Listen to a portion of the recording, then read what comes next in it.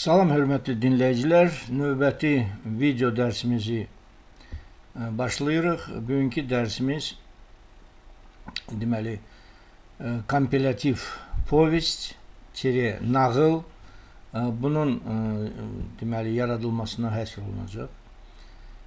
Deməli birinci əsas bizim tapşırıqlar silsiləsindən əsas tapşırığımız olan adaptasiya idi ki, biz bunu keçdik sizlə. Və mən izah elədim nəyə görə mən adaptasiyadan başlayıram.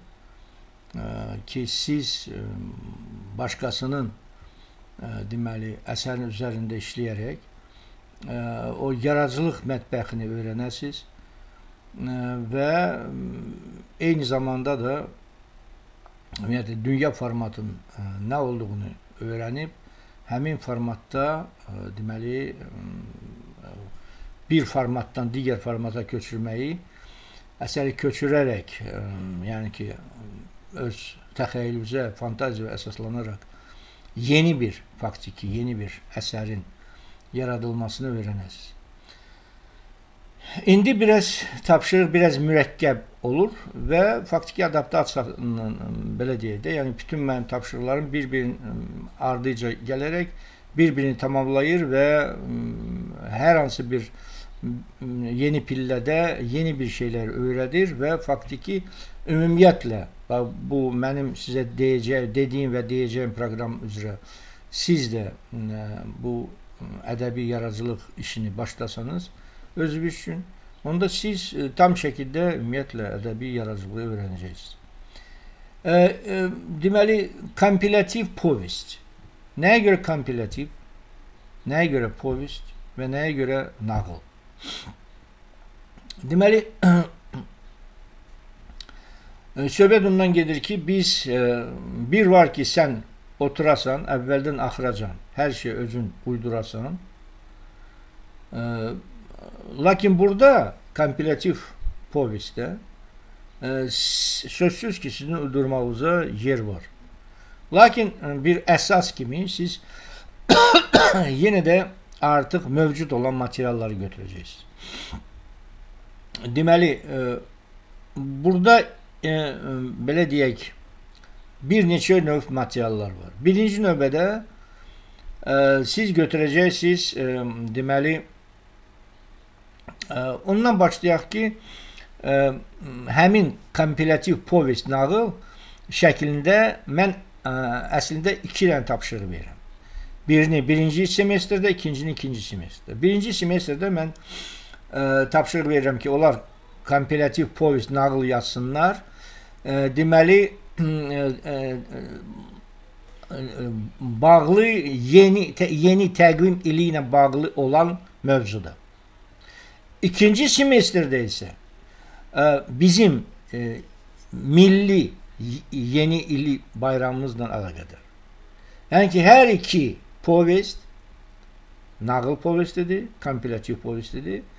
Lakin sadəcə birisinin mövzusu təqvim yeni ilin bayramı, ikincinin isə bizim milli, yəni ki, Novruz bayramı, yeni ilinin bayramı, bayramına həsr olunacaq.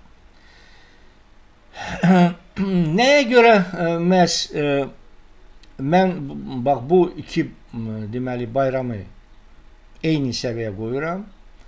E, çünki artıq yeni təqvim ilini, yəni ki 31 dekabr və 1 yanvarı qeyd etmək artıq bizim xalqın ənənəsinə çevrilib.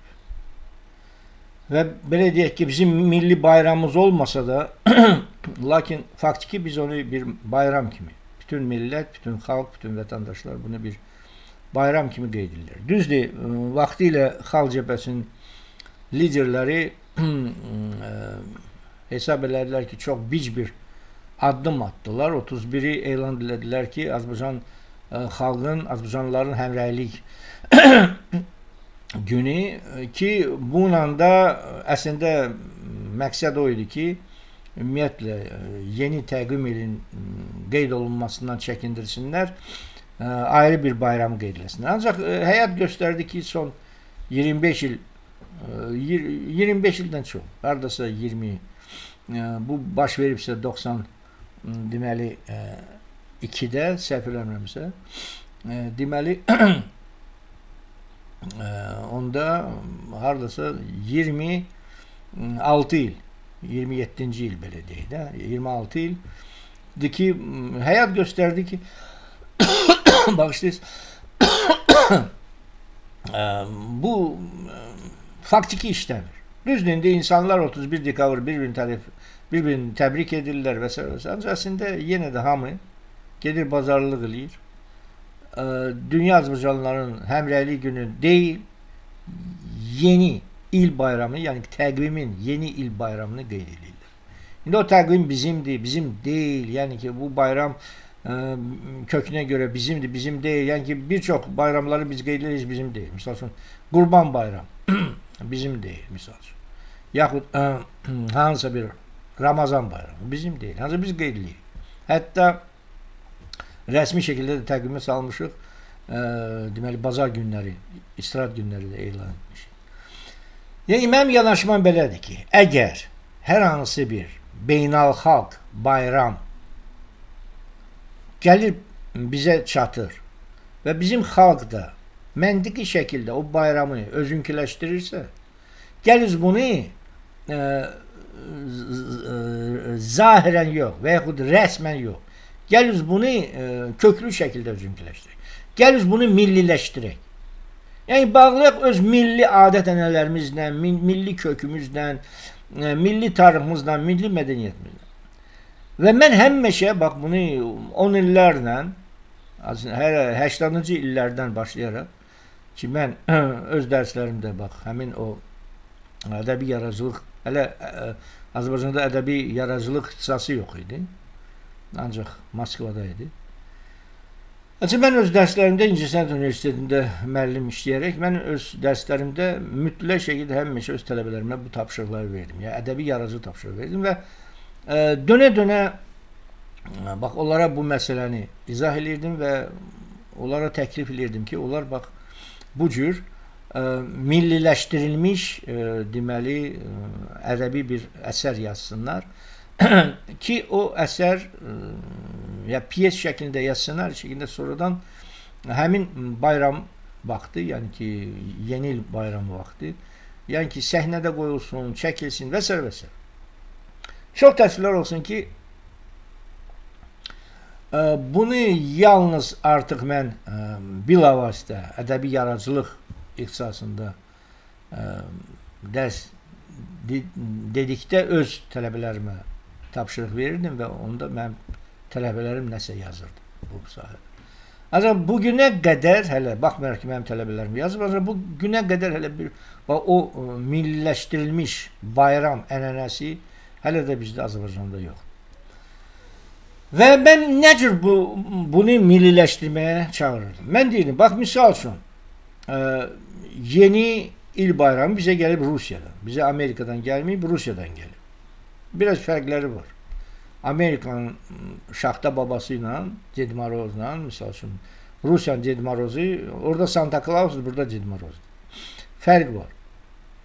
Bizə gəlib Rusiya ənənəsinə. Çox gözəl olsun da, fərqi nədir? Deməli, e, onlar da Ded Morozdur, bir də Snegoruçka. Biz bunu nə cür milliləşdirə bilərik? Çox asan.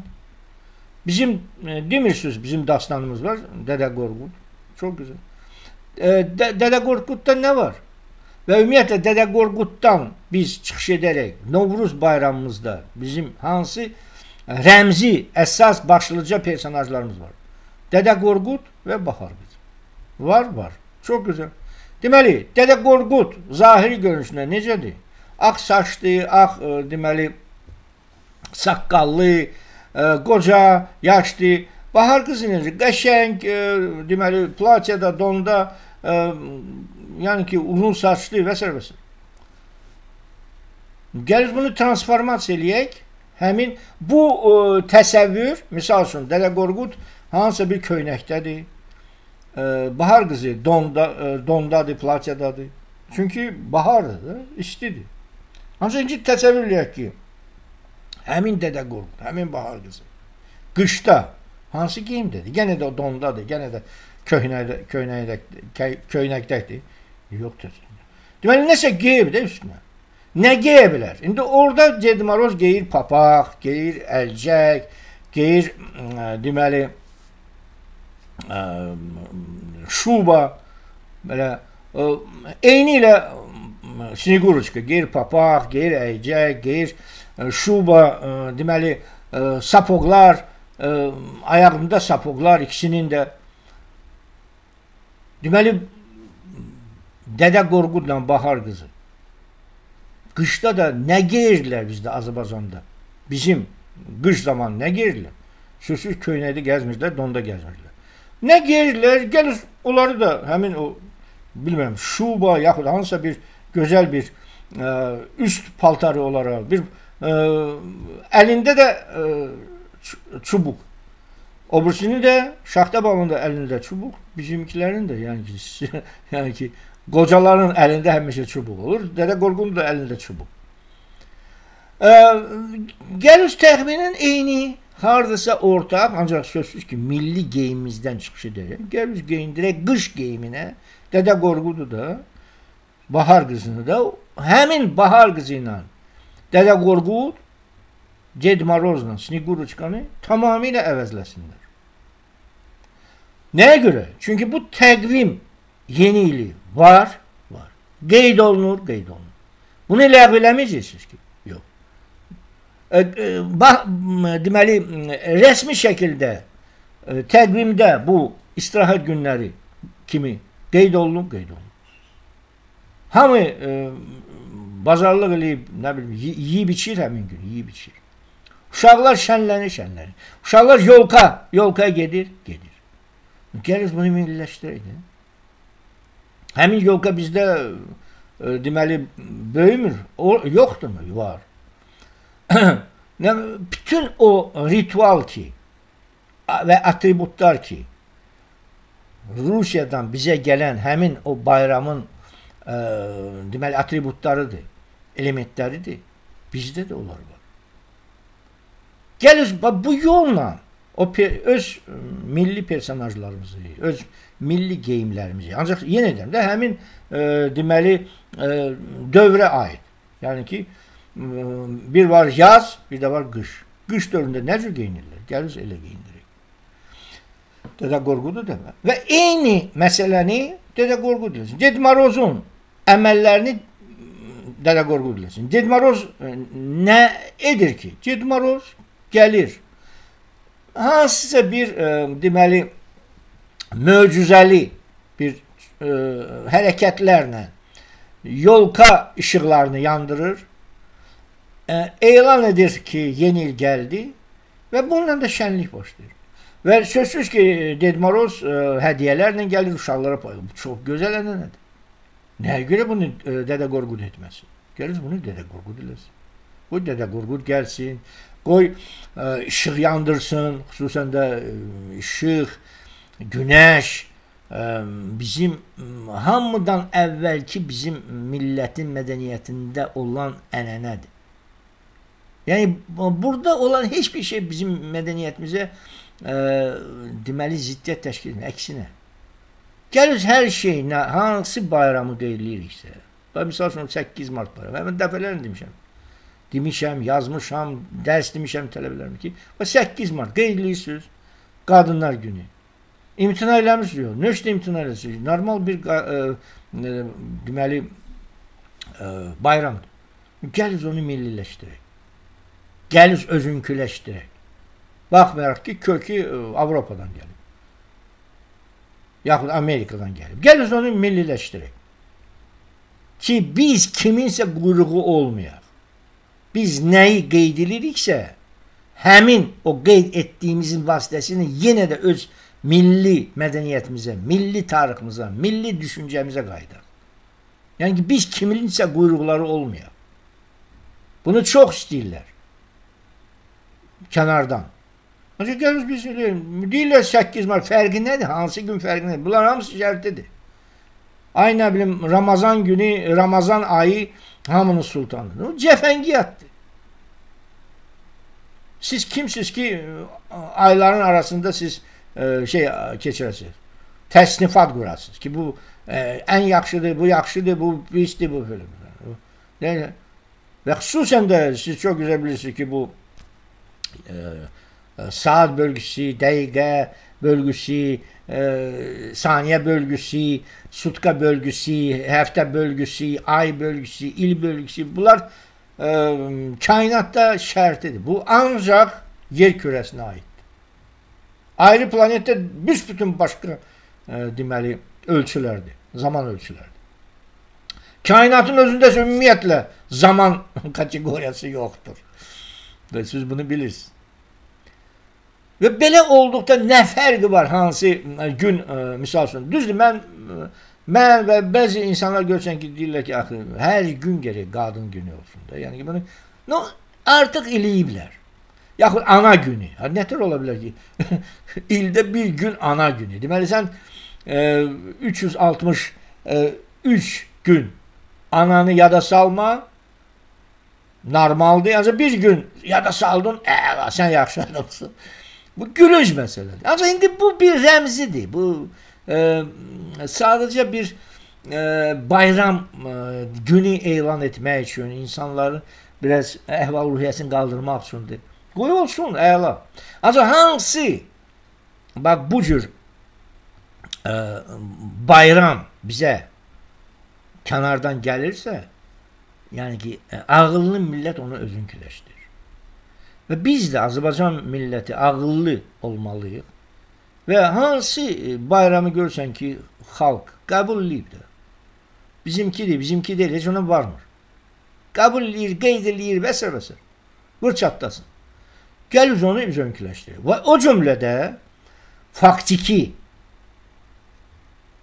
hələ vaxtı ilə bütün Azərbaycan milləti üçün Novruz bayramından da vacib olan yeni il təqvim bayramı. İndi düzdür. Demək olar bunlar bərabər şəkildədir və ola bilsin get-gedə Novruz bayramı təbii olaraq və qanuni olaraq birinci olsun. Olsun, çünki hələ də olmalıdır. Çünki əslində vaxtı ilə siz də bunu bilməlisiniz ki, bütün dünyanın bütün xalqları ə, deməli illərini məhz Novruz bayramı günündən başlayırdı. Və hamı bizim kimi Novruz gününü qeyd edirlər. Ancaq sonradan artıq başladı bu fərqlənmə. Dinlər nəticəsində və s. və s. hərəsinin bir təqvimi ortalığa çıxdı. Ancaq indi yenə deyirəm ki, bax bu gün ola bilsin bir 100 e, ildən sonra ümumiyyətlə bu təqvim, indiki təqvim aradan çıxsın, hamı keçsin, misal üçün həmin o astronomik təqvimə ki, Novruz bayramından il başlayır. Olsun, fərq eləmir. Lap yaxşı, bizim üçün lap əla. Və ümumiyyətlə onda ə, heç nə rəsmi, nə ümumiyyətlə heç kim bunu qeyd eləməyəcək. Ancaq hələlik ki qeyd edirlər, gəl öz bunu ə, deməli yad bir bayram kimi qeyd etməyək.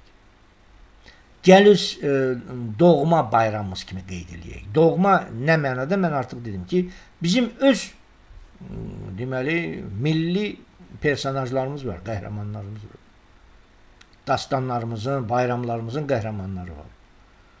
Qoy onlar orada çıxış eləsin. Nəyə görə misal üçün ə, deməli Rus ə, deməli mədəniyyətinin hansı personajları, nağıllarının, nə bilim folklorun bizim öz folklorumuz yoxdurmu? Var. Özdə ə, Rus folklorundan qat-qat zəngindir, qat-qat. Bizdə Molla Nəsrəddin lətifələri var, onlarda yoxdur. Bizdə dastanlar var, onlarda yoxdur. Bizdən olan nağıllar qat-qat çoxdur və onu da deyim ki, əslində şərq nağılların hamısı bizim nağıllardır. Min bir gecə bizim nağıllardır, ərəblərin nağılı deyil. Şəhərzadə. Bu bizim nağıllardır. Sadəcə indi ə, bəzi məsələləri köç köçürdüblər və yaxud hələ o vaxtı da Bağdad da olub İranın bir ərazisi. Və s. və s. çox məsələlər var. Yəni ki, biz e, bax bu məsələlərdən e, istifadə edib, yəni ki, milliləşdirməliyik. Yenə də mən bunu 10 illərlə deyirəm və imkan düşdükcə haçan ki mən ədəbi yaradıcılıq dərslərini keçirən, onda mən tələbələrimə və öz tədris proqramımıza keçirəm və məhz bu tapşırığı mütləq şəkildə verirəm və onlar yazırlar. İndi onun nəticəsi olur, olmur, o artıq ə, məndən asılı deyil, çünki mən bunu dəfələrlə yazmışam da, açıq mət mətbuatda ki, gəl, gəlir bu cür olsun. İndi e, hələ şeylər var ki, e, mən ancaq deyə bilərəm, mən ancaq təklif edə bilərəm, mən ancaq konsepsiyalar verə bilərəm, mən ideyalar verə bilərəm. Ancaq e, indi e, bu xalqın başında duran e, insanlar gərək onu həyata keçirsin. Çünki bu məsələ onların səlahiyyətinə aiddir. Ancaq bizim səlahiyyətimizdən nə aiddir? Bizim səlahiyyətimizə o aiddir ki, bax biz bax e, bu işi görək. Və bu iş nədir? Bu iş deməli iki növ yenə təkrar edirəm kompilativ e, povest. Povest çiri nağıl e, yaratmaqdır. Deməli, e, nağıl nəyə görə? Artıq ona görə ki, burada e, nağıl qəhrəmanları, düz təkcə nağıl qəhrəmanları yox. Burada e, digər qəhrəmanlar da olacaq, mən deyəcəm. Povest çünki bu nəsr formasında mən bunu tələb edirəm ssenari formasında yox, piyes formasında yox, nəsr formasında. Onu da səbəbini deyəcəyəm. E, deməli, kompilativ nəyə görə? Bax, bu əsasdır burada. Nəyə görə kompilativ? Kompilativ, yəni ki, e, düzüb qoşun, qoşulma. Nələrinsə, hanları, e, hansısa ədəbi e, parçaların bir-birinə düzüb qoşulmaq və bu şəkildə vahid bir əsər yaratmaq. Bax, ə, bu povest məhz bu üsulla yaradılacaq. Yenə təkrar Mən ə, e, bu povest nağılı birdən-birə tam şəkildə sizdən uydurmağı tələb etmirəm. Yəni ki, ilkin mərhələdə adaptasiya idi. Siz kiminsə tam şəkildə əsərini götürürdünüz, onu təhlil edirdiniz, bölürdünüz e, və onu çevirirdiniz. Yenə də təxəyyülünüzdən istifadə ilə, fantaziyasından istifadə çevirirdiniz ə, ə, deməli adaptasiya. Yəni ki, başqa bir formatda bir ya kino ssenari yaxud da ə, dram əsəri. Burada isə biraz mürəkkəbdir. Yenə də siz istifadə edirsiniz. E, deməli iki böyük mərhələ var. Birinci mərhələ. Siz götürürsüz, misal üçün, e, mən hər ikisini bir yerdə deyəcəm, e, hər iki tapşırığı. Bir tapşırıq, yenə təkrarım ki, ye, e, təqvimin yeni il bayramı ilə əlaqədardır. İkinci tapşırıq Novruz bayramı. Yəni bizim milli yeni ilimiz bayramı ilə bağlıdır. Ancaq bunların e, faktiki metodologiyası eynidir. Məzmun ola bilsin biraz fərqli olacaq çünki orada e, qış bayramı, burada e, yaz bayramı. Yəni ki, orada da yeni il, təqvim ili, burada milli, qədim təqvim ili deməli və astronomik ilin bayramı qeyd olunur. Deməli hər iki povestin metodologiyası eynidir. Deməli nədir bu metodologiya? İki böyük hissədən e, ibarətdir bu metodologiya ilkin mərhələdə. Birinci e, addım nədir? Ki biz e, deməli e, yeni ilin universal bir ssenarisini tapaq və yaxud Novruz bayramın universal ssenarisini tapaq. Ki, bax, orada bayram nə cür başlayır, nə cür gedir və nə cür qutarır. Biz bunu e, bölürük hər iki, ssenari iki hissəyə. Birinci, bayramın artıq həyata keçməsinin ə, e, keçməsinə qədər olan hazırlıq mərhələsi və belə deyək, ə, e, bayramın ə, e, ritualı bayram seremoniyası. Bax bu deməli ssenarini çünki orada hazırlıq mərhələsidir. Var misal üçün kimlər necə hazırlaşır və s. Sonradan e, artıq bayram e, elan olunur. Həm yeni ildə, həm də Novruz bayramında. Ola bilsin Novruz bayramında bu biraz ə, dəqiq ə, göstərilmir, ancaq yeni il bayramında bu dəqiq idi ki, haçan hazırlıqdır, haçan artıq ə, Dedmaroz gəlir, ə, deməli hədiyyələrlə uşaqların qarşısına çubuqla vurur e, küknar ağacına, yolkaya və deməli e, işıqlar yanır Və e, artıq bununla da elan olur ki, yeni il e, öz ixtiyarına minir və yeni il başlayır. Təxminən hər, hər, elə bir məqamı e, Novruz bayramı ssenarisində e, axtarıb tapmaq olar. Və bunun əsasında siz hazırlıq e, həmin o bayramın hazırlıq mərhələsini artıq ritual mərhələsindən ayırmalı lazımdır. Yəni çünki ə, e, hazırlıq mərhələsi bu olacaq sizin povestin əvvəli ancaq o ritualın ritual mərhələsi olacaq sizin povestin sonu. Siz faktiki həmin ə, e, universal ssenarini bölürsünüz iki yerə və onları atırsınız əsərin əvvəlinə və sonuna. E, deməli, hər iki ssenari e, internetdə var. Hətta o, Novruz bayramı universal ssenarisi mənim saytlarımda var, o tapa bilərsiniz. Problem deyil. E, e, deməli, bax bu birinci mərhələdir. Yəni əvvəlcə siz gərək ya Yeni il bayramının həm Yeni ilin ssenarisini, həm də Novruz bayramının ssenarisini tapasınız. Sonra bunu bölürsünüz, ayırırsınız, sanki kopya eləyirsiniz, bir dənə fayl yaradırsınız. Misal üçün də üstünə yazırsınız yeni təqvim ili yaxud ə, ə, Novruz bayramı yeni il. Və hər ə, birinə Novruz bayramının ə, ssenarisinin birinci hissəsini atırsınız əvvələ ə, və bir ara qoyub sonradan atırsınız ikinci hissəni. Eyni ilə ə, fayl yaradırsınız, yazırsınız yeni təqvim ili və həmin o e, yeni ilin ssenarisinin birinci hissəsini kopyalayarsınız əvvəla, ikinci hissəsini bir aradan sonra e, deməli e, atırsınız e, sona. Və e, aralar qalır boş. İndi araları biz nə ilə dolduracağıq? Çünki bu kompilyasiyadır. Yəni biz e, hansısa materialla götürürük, düzüb qoşuruq, sonradan başlayacağıq onu o materialın üzərində işləməyə. Onu sanki pişdirməyə və povesti çevirməyə. Deməli, bax bu ortada. Yəni ki, bax bu birinci hissə və sonuncu hissə olacaq necə ki, hər hansı bir adi ədəbi əsərdə olacaq.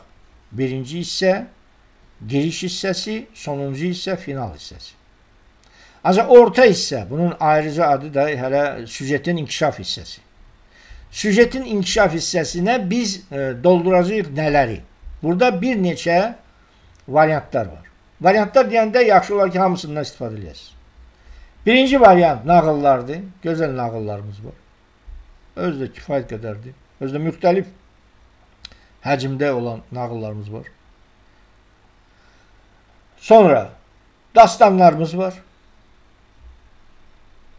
Sonra ədəbi lətifələrimiz var. Molla Nəsrəddin lətifələri, digər lətifələri. Və sözsüz ki, klassik ədəbiyyatımız var. Nizamimiz var, Axundovumuz var, Mirzə e, Mirzə Cəllimiz var, Sabirimiz var və s. və s. Yəni ki, klassik ədəbiyyatımız var ki, e, onların e, deməli hansısa bir əsərlərdən, istəyirsən hekayələrindən, istəyirsən ə, deməli hətta povestlərindən, yəni ki, ə, böyük həcmli olmasın da. Yəni ki, ə, bax bu növ Mən 4 dənə növ e, sadaladım sizin üçün. Nağıl, dastan, ədəbi lətifə və klassik ədəbiyyatın nümunələrindən. Siz bunlardan 12-15 dənə əsər seçirsiniz.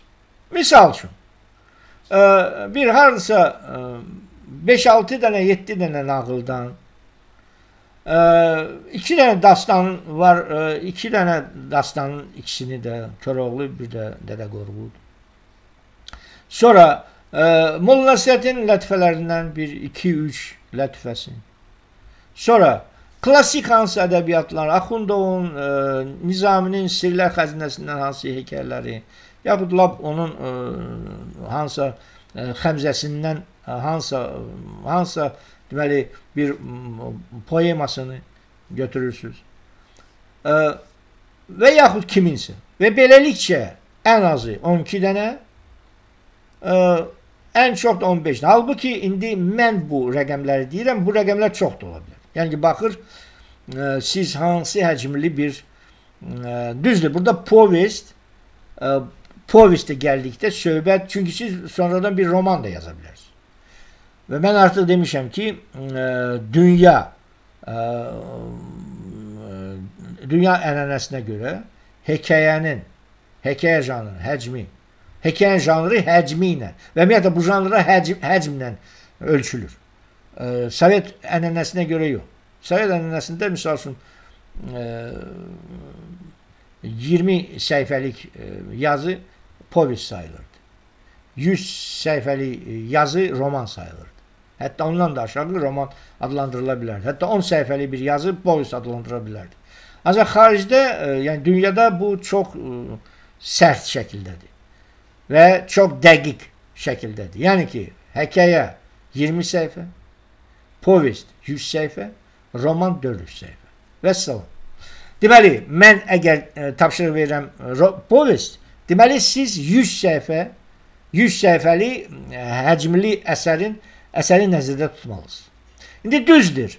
Mən ə, yəni ki, az da olsa qoyulab 60 səhifə, 70 səhifə e, eyb yoxdur. Çünki e, bu e, mərhələdə biz hələ öyrənirik.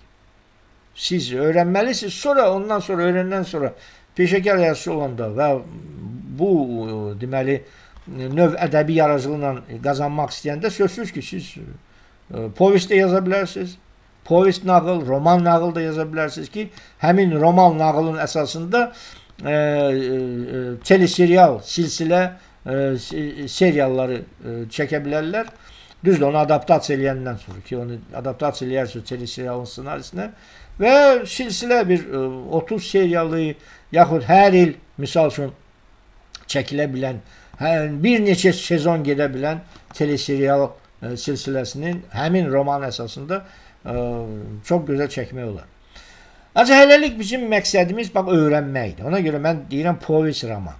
Bu bax siz povest ə, ə, komparativ povest nağıl. Deməli bunun da həcmi ə, dünya ə, deməli ənənəsinə görə 100 səhifədir. Yenə deyirəm mən 100 səhifə tələb etmirəm. Ancaq siz bilirsiniz ki, bunun ənənəyə görə həcmi 100 səhifədir.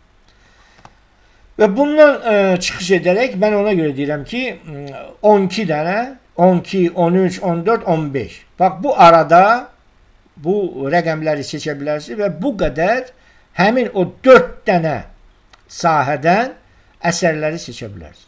Seçdiniz misal üçün 5-6 dənə, 7 dənə, 8 dənə nağıl, bir neçə dənə lətifə, bir neçə dənə, 2 dənə dastan, yaxud 2 dastan istəmirsiniz, hansını istəyirsiniz? Burada mütləq deyil.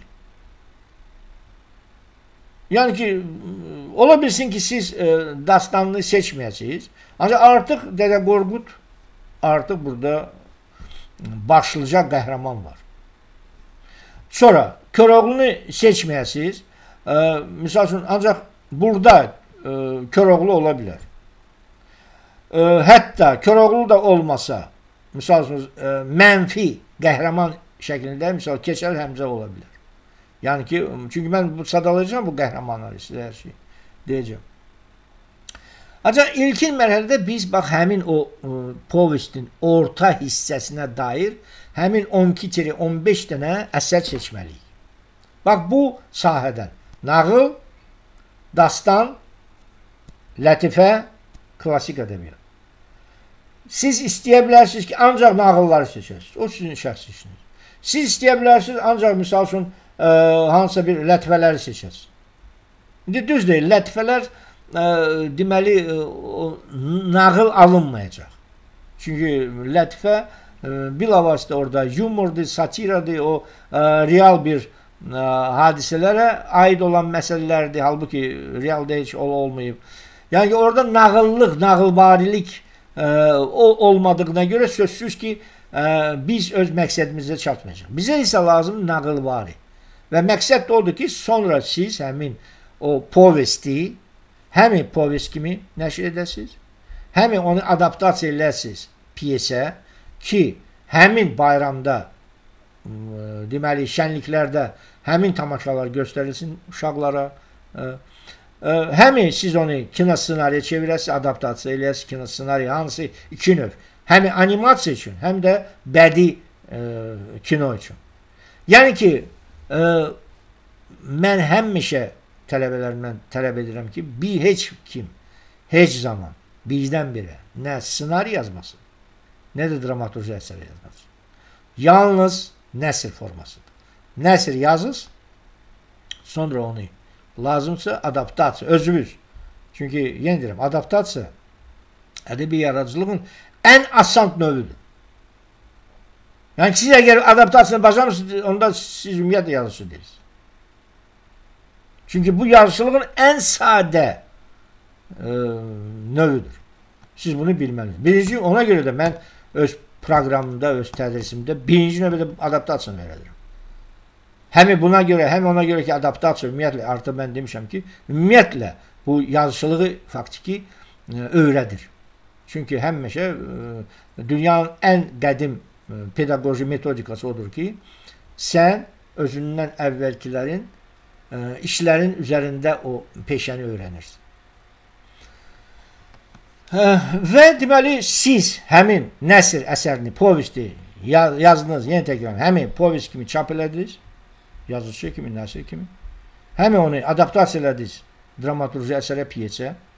Bayram günləri, şən, e, şənlik günlərində uşaqlar üçün deməli o, o teatrlar, klublarda o tamaşalar qoyuldu. Eyni ilə kinoscenari yazırız, adaptasiya. Həmin öz povestimizi özümüz öz əlimizlə adaptasiya elədik. Həm animasiya janrı üçün, həm də ə, animasiya növü üçün, kinonun animasiya növü üçün həm də e, kinonun bədii e, növü üçün.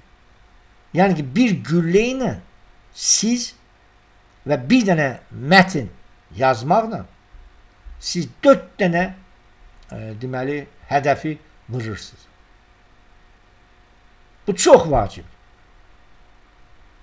Və ayrı məsələlər də var ki, e, birdən-birə ssenari yazanda e, artıq e, deməli orada hansı qüsurlar ortalığa çıxır? Birdən-birə e, deməli e, piyes yazanda hansı qüsurlar çıxır? Da, mən dərinə girmirəm.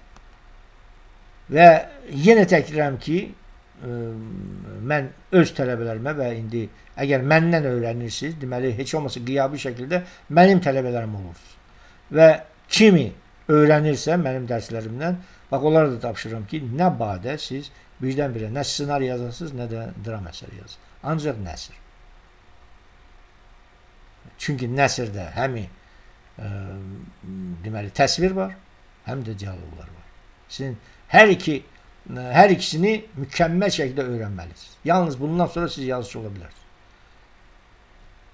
Dramaturgiya da, ssenari də yazıçılığın içərisindədir.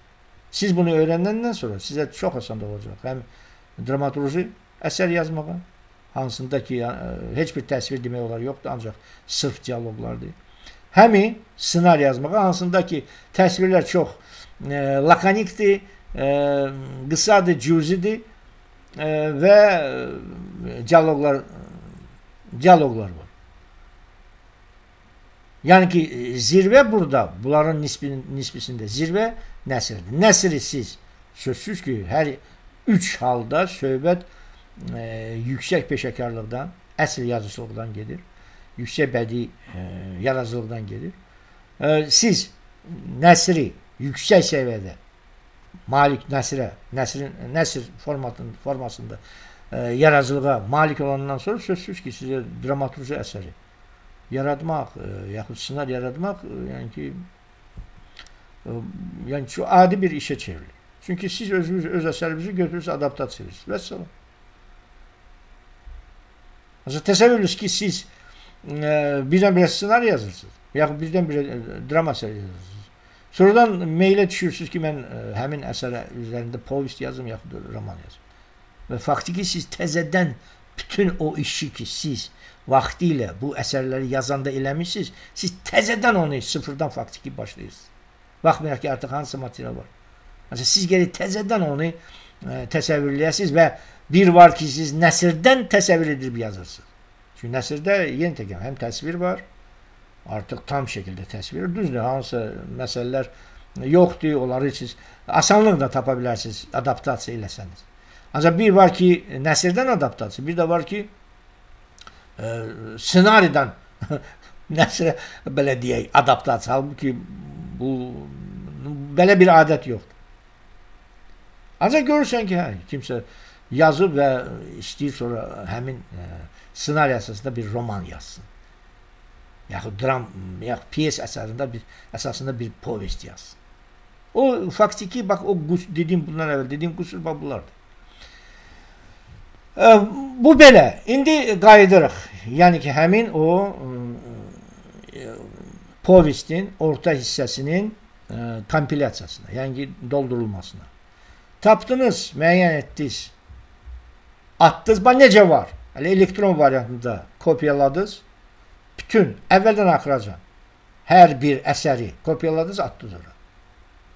Bax bu birinci mərhələnin addımlarını siz elədiniz. Bax bu birinci mərhələdir ki, siz bax bütün povesti, gələcək povestin bütün materialını topladınız özünüz.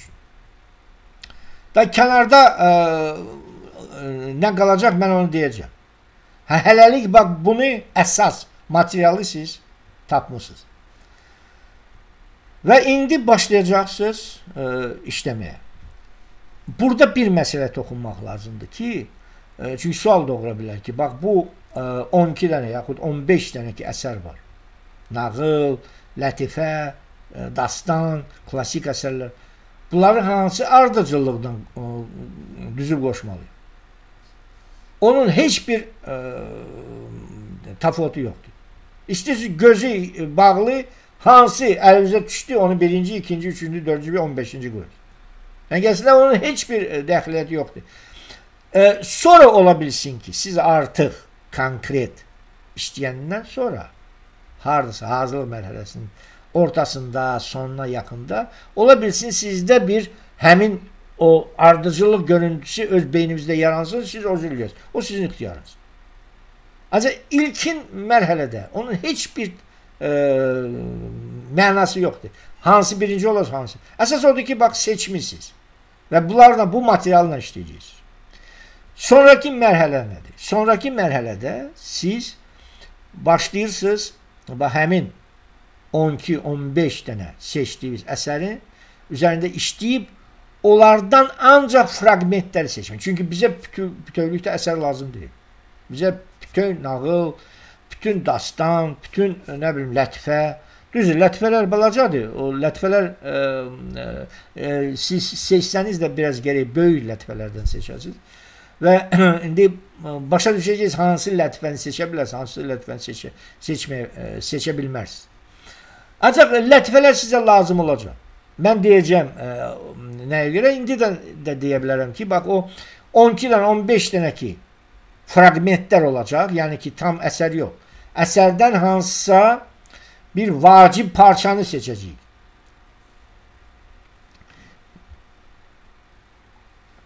Bağışlayız.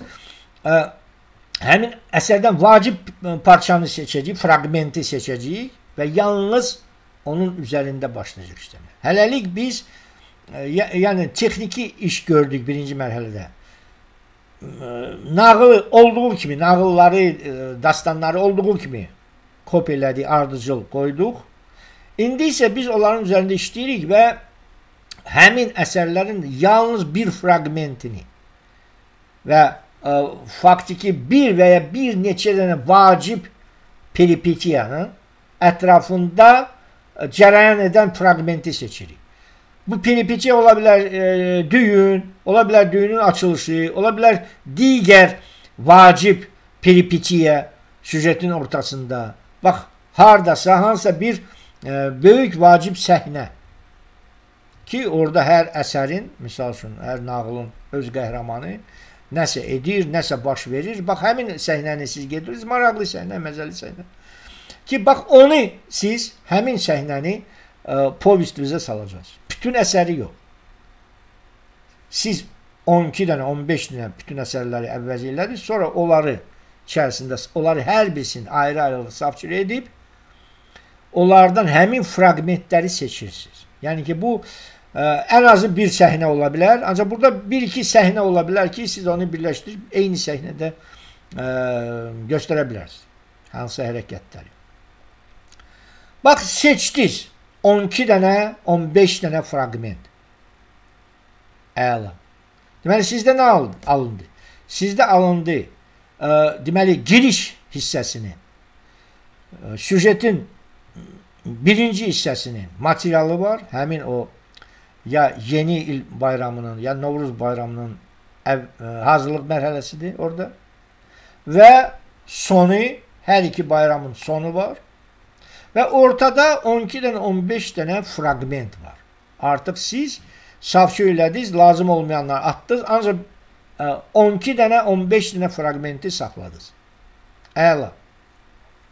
İndi bu fraqmentlərin əgər 12 dənədirsə, deməli burada hərəsində 11 dənə keçid olacaq. O keçidlər haqqında mən danışacağam. Ya 11 dənə, 12 dənə, 13 dənə, 14 dənə. Yəni 15 dənə fraqment isə onların arasında 14 dənə fraqment olacaq. 12 dənə isə 11 dənə ə, fraqment yox, baxırsınız, keçid, keçid ə, səhnəsi olacaq. Yəni ki, düzdür. Bu keçid səhnələr həmin o ə, sə fraqment səhnələrin nəzdində ola bilər. Ancaq ə, bu başqa yerdə, başqa yerdə də ola bilər. Yəni ki, ə, misal üçün ə, hardansa keçə bilərlər, danışa bilərlər. Mən də hər şey başa salacağam.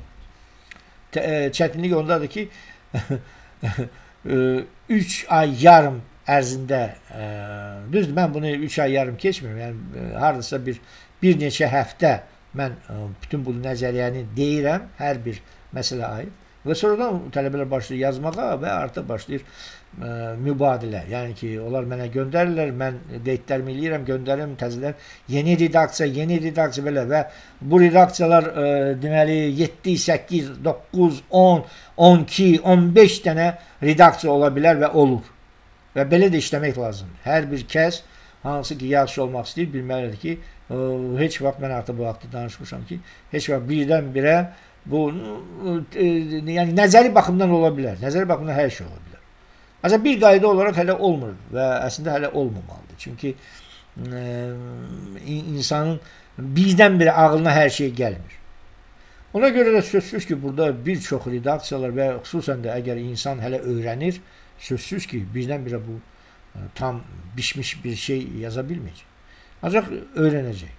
Hər redaksiyanı yoxlayaraq müəllim deyir ki, burada, burada, burada. Bununla hətta bundan əvvəl demədiyini sonradan görsən ki, o qüsurlar daha görünür. Nə qədər əsər mükəmməl olursa, bundan əvvəl görünməyən xırda qüsurlar olur böyük qüsurlara çevrilir. Ona görə çox parlaq şəkildə görünür, ona görə indi bax bunlar bizə. Sonra bax indi buralı bizə və s. və s. Və çətinlik ondadır ki, misal bir neçə həftə, bir ay ərzində e, keçdiyin nəzəriyyəni başa salmaları sən gərək bir dərsdə keçəsən, başa salasan. Ancaq burada yenə deyirəm, heç bir çətinlik yoxdur. Əslində ə, nə bu məsələdə nə adaptasiya, nə də sonda ə, öyrətdiyim romanında da yazılmasında he, heç bir çətinlik yoxdur. Hər şeyin metodologiyası. O metodologiya uyğun Hər hansı bir adam istəsə roman da yaza bilər, nə istəyirsən də yaza bilər. Çünki roman zirvədir. Roman yaza bilirsənsə, əməlli başlı və sonra sən deməli artıq yazıçısan və yazıçılığın bütün ədəbi növlərini yaza bilirsən. Yəni ki, mənim yanaşmam belədir və mənim öyrətməm belədir. Ki, roman sondadır. Ə əvvəldə sən yazmalısan adaptasiya, bütün növlərini öyrənməlisən, sonda isə zirvə romandır. Deməli, qayıdırıq məsələmizə. Deməli, fraqmentləri ayırdınız və bilməlisiniz ki, sonra təzədən qayıdacaqsınız bu fraqmentlərin arasında olan keçidlərə. Çünki hələlik hər bir fraqment ayrı-ayrılıqdadır da. Ancaq sən bunları birləşdirməlisən. Bax, kompilyasiya ondadır. Kompilyasiya ondadır ki, bir-biri ilə qəti şəkildə heç bir əlaqəsi olmayan və ayrı-ayrı ədəbi əsərin fraqmenti olan fraqmentləri sən bir-biri ilə vahid bir süjetdə ə, e, birləşdirməlisən, ə, eləməlisən bir süjet. Bax bu kompilyasiyadır. Mümkündürmü? Mümkündür. Özü də çox asanlıqla mən izah edəcəm, başa, başa düşəcək. Heç bir çətinlik yoxdur. Deməli, e, ancaq bunu hələlik e, siz bir, e, bir o ke keçid e, səhnələrini hələ onları düşünmürsünüz. Hə, əsas odur ki, fraqmentləri seçəsiniz. İndi e, biz keçirik həmin kompilyasiya. Kompilyasiya, yəni ki, o birləşdirmə və ümumiyyətlə süjetin gedişatı nəyin əsasında olacaq? E, Quest'in əsasında. Quest yəni ki, axtarış. Və belə bir e, anlayış var bədii yaradıcılıqda quest. Yəni ki, axtarış.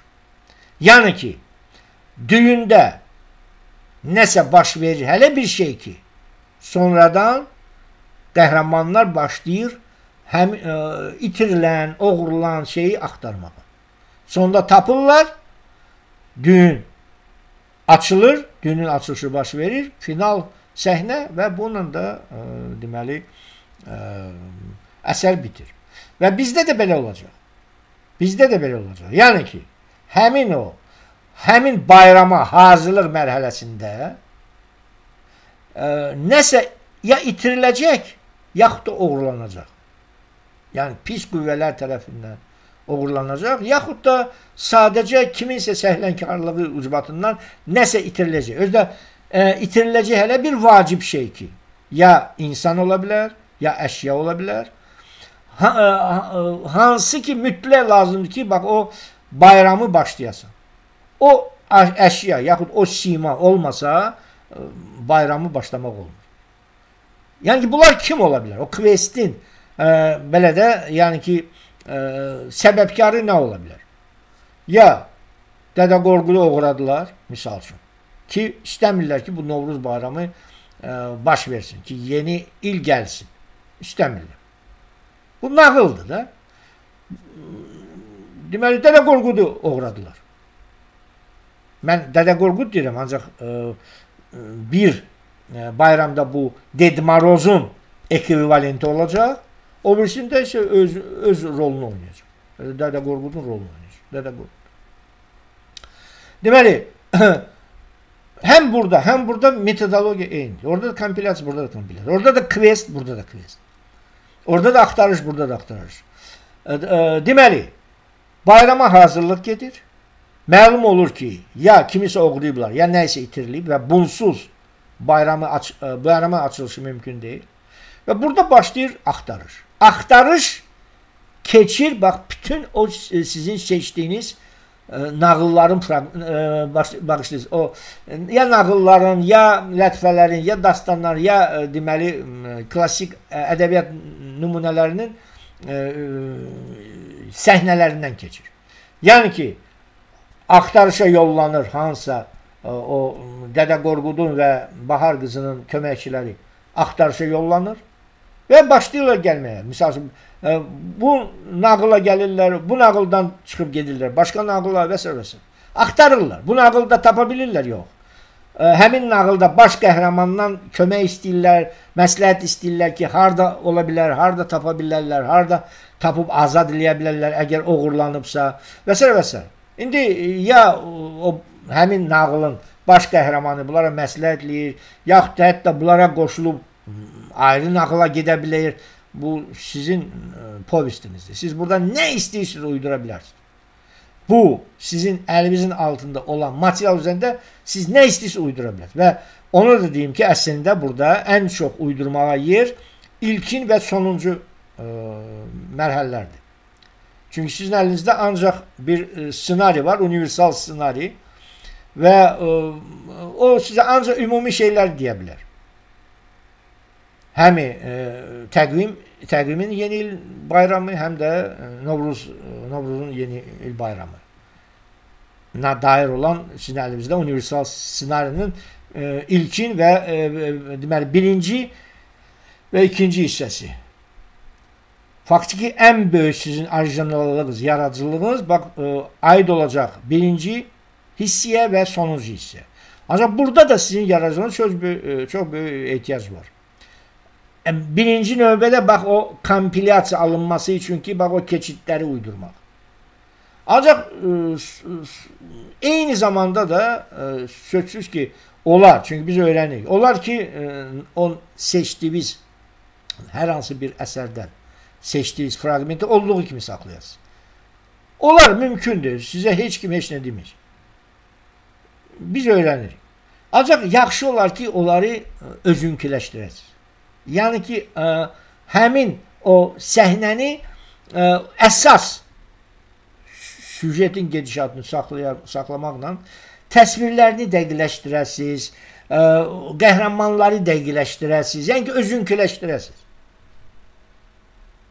Ancaq ə, nə cür varsa, misal üçün nağıllar kitabından nə cür götürmüsünüz, həmin nağılın, nağıldan fraqmenti seçmisiniz, nə cür varsa, elə də saxlaya bilərsiniz. O sizin ixtiyarınızdadır. Yəni ki, heç kim ə, şəxsən mən heç vaxt heç nə demirəm. Yəni ilkin mərhələdə bu vacib deyil. Ancaq gələcəkdə sözsüz ki, peşəkar olanda sözsüz ki, ə, sizin əlinizin altından çıxan hər bir əsər eyni zamanda adaptasiya əsəri gərək e, sizin tam şəkildə sizinki olsun. Baxmayaraq ki, siz kiminsə ola bilsin əsərini götürüb onu adaptasiya edirsiniz. Ancaq yenə də o əsər çünki o əsər sizinki sayılır. Və eyni elə bu kompilyasiya lap siz o saxlasanız da onsuz da sizin əsər sayılır. Deməli, ə, çünki artıq ə, hətta adından siz etiraf edirsiniz ki, siz kompilyasiya edirsiniz. Normal bir şeydir. Deməli, ə, ə, siz demirsiniz ki, mən hər şey uydurmuşam. Yəni ki, yalan danışmırsınız. Siz deyirsiniz ki, bu kompilyasiyadır. Ancaq bunun kompilyasiyası orijinaldır. Hər bir insan eyni misal üçün mətnləri götürsə, onu müxtəlif cür kompilyasiya edəcək. Müxtəlif cür. Və onun orijinallığı bax onun o kompilyasiyasında ə, deməli kompilyasiyasına irəli gəlir. Ə, deməli beləliklə siz ə, burada indi keçirik ə, deməli bax ə, qəhrəmanlara. Yəni ki ə, başlıca qəhrəmanlar kimdir? Artıq mən dedim. Həm o bayramda, həm bu bayramda. Dədə Qorqud hansı ki misal üçün burada, misal qışda bu geyimdə olacaq. Hələ Ded Marozun geyimində olacaq.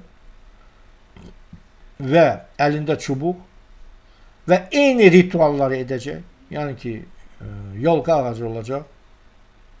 Bizim torpaqda e, deməli böyüyən ağac olacaq. Və o, onun üzərində olan hansısa bir işıqlar olacaq. Onları həmin çubuqla belə də hesab elə ki, e, möcüzəli, sehrli çubuqla onu o işıqlar yandıracaq və elan edəcək ki, bayram başladı. Və təxminən hardasa buna oxşar, misal üçün Novruz bayramında da belə bir ritual, belə bir ənənəni əgər yoxdursa, yaxşı olar ki, e, bunu e, fikirləşib tapasınız ki, bax, ə, köhnə illə yeni ilin ə, deməli ə, o məqam fərqi bilinsin ki, harda köhnə il qutardı, hər harda təzə il başlayır. Və bunu, bu məqamı ə, deməli göstərməlilər, qeyd etməlilər. Bax bu iki şəxs. Bunlardan da məhz ə, yaxşı olar ki, Dədə Qorqud bildirsin və Dədə Qorquda xas olan ə, e, geyimlərlə, ə, e, atributlarla, misal üçün ə, indi ə, yeni il, qış bayramına aid. Nəsiz ə, nə olmasa bayram başlaya bilməz. Bax, çubuğu oğrasalar, Dədə Qorqunun çubuğun, çubuğunu oğrasalar, deməli o çubuq olmadan o işığı yandırmaz və yeni ili elan edə bilməz. Deməli, bax, bu questin səbəbi çubuğun oğurlaması ola bilər. Yaxud siz burada hər şeyi uydura bilərsiniz. Hər şeyi uyduraraq əsaslanır. Misal üçün, ə, əlcə, ə, Dədə Qorqudun əlcəklərini oğurlayıblar. Əlcəksiz o çubuğa toxuna bilmir. Toxunmasa da heç kim də toxuna bilmir o çubuğa, çünki o sehirli çubuqdur. Və ona görə və, və o əlcəklər də sehirlidir ayrı əlcəklər geyirsən, yenə də götürə bilmirsən çubuğu və deməli e, e, əlcəklər axtarmalısan. Və s. və s. və s. Və yaxud misal üçün e, Dədə Qorqudun şubasını oğurlayıblar. O şubada qışda ona həmin o güc verir. O olmayanda o gücsüz olur. Misal üçün uydurursun, nağıldır. Yaxud onun papağın, misal üçün. Papaqsız olmaz yeni ili qarşılamaq. Misal üçün, mən indi ə, e, belə də eksprom deyirəm bu məsələləri. Siz də bunu nə cür istəyirsiniz, uydura bilərsiniz. Ki, bax, questin səbəbi nə olsun? Və yaxud, misal üçün, e, Dədə Qorqud ya evindən oğrayıblar, ya hardansa gəlirdi, oğrayıblar. Yaxud Bahar qızını oğrayıblar. Bahar qızsız, ə, deməli, ə, yeni ili başlamaq olmaz. Deməli, bax, bu questin səbəbidir.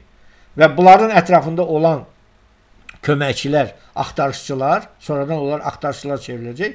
Onlar gedəcəklər həmin o ə, əsərlərə, əsərlərdən seçdiyimiz fraqmentlərə, həm səhnədən keçib səhnələrə keçəcəklər ki, axtaracaqlar həmin ya itirilən şeyə, ya oğurlanan şeyə. E, deməli, e, həmi canlı ola bilər, həm də cansız hansısa element ola bilər. Misal üçün, Dədə Qorqunun özünü oğurlayıblar. Bəli, onsuz başlamaq. Bahar qızını oğurlayıblar, onsuz başlamaq olmaz. Yaxud, e, misal üçün, e, Dədə Qorqud e, hardansa e, uşaqlara hədiyə gətirirdi. Misal üçün, Meşokda ya harda, harda. O, hədiyələr oğurlayıblar. Hədiyəsiz e, bayram olmaz. Misal üçün. Bax, e, bu cür yenə də siz həmin, həmin e, qış yeni ilin belə deyək də qış və bahar yeni ili. Belə desək daha ə, tez olur. Qış yeni ilin ə, o ssenarisinə əsasən baxacaqsınız ki, bax burada bu bayramı bayram baş tutmaq üçün hansı elementlər vacibdir? İndi orada Rus ənənəsində Ded Moroz, Sneguruşka biz deyirik Dədə Qorqud baxarıq. Bunları oğurlasın, bunların birisini oğurlasın bu questin səbəbidir. Ondan başqa bunların hansı ə, atributları atributların hansını ə, bunları oğrasan ə, onsuz baş tuta bilməz. Özünüz seçir. Yəni burada variantlar çoxdur. Uydura da bilərsiniz. Yəni ki, bu vaxtdaca ənənədə olmayan şeyi də uydura bilərsiniz və lazımdır. Əslində bu sizinki olacaq. Və bu bu uydurma ilə də həmin o povest ə, məhz konkret sizinki olacaq və digər ə, povestlərdən fərqlənəcək. Çünki eyni hamıda eyni questin eyni səbəbi olsa artıq bu ə, deməli o fərqlənmə itəcək. Seçə bilərsiniz. Bax ə, bu faktiki burada heç bir problem yoxdur. Seçə bilərsiniz, əsaslandıra bilərsiniz. Yəni əsaslandırırız ki, uydururuz ki, bax bunsuz bayram olmayacaq. Ona görə bunlar hamısı oturub deyirlər ki, nə oldu? Nə?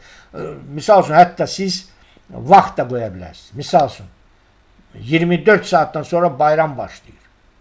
24 saat ərzində o deməli əşyanı yaxud o kəsi, oğrulan kəsi tapmasalar bayram ya ləğv olunur, ya dayanır və və s. Uşaqlar da gəlir, hamısı ə, sevincək. Nə olacaq? Biabırçıl. Və kres başlayır. Həmin Dədə Qorqudun və ə, e, deməli Bahar qızının ətrafında olan köməkçi qəhrəmanlar, onlar haqqında da mən deyəcəm. Onlar başlayır, ə, e, gedirlər axtarışa. Və hara? Düşürlər hansısa bir nağıla. Misal Məlik Məmmədin nağılına düşürlər. Burada Məlik Məmmədin hansısa bir ə, fraqmenti baş verir. Hansısa bir səhnə, bütün nağıl yox. O nağıldan hansısa bir səhnəyə düşürlər. Və onu da deyəcəm, onlar hansı məqamda düşürlər həm, həmin səhnəyə. Onu da indi deyəcəm. Ancaq ümumi şəkildə düşürlər bu səhnəyə. Həmin səhnə Məlik Məmmədin həmin səhnəsi baş verir. Bunlardan ə, asılı olmayaraq.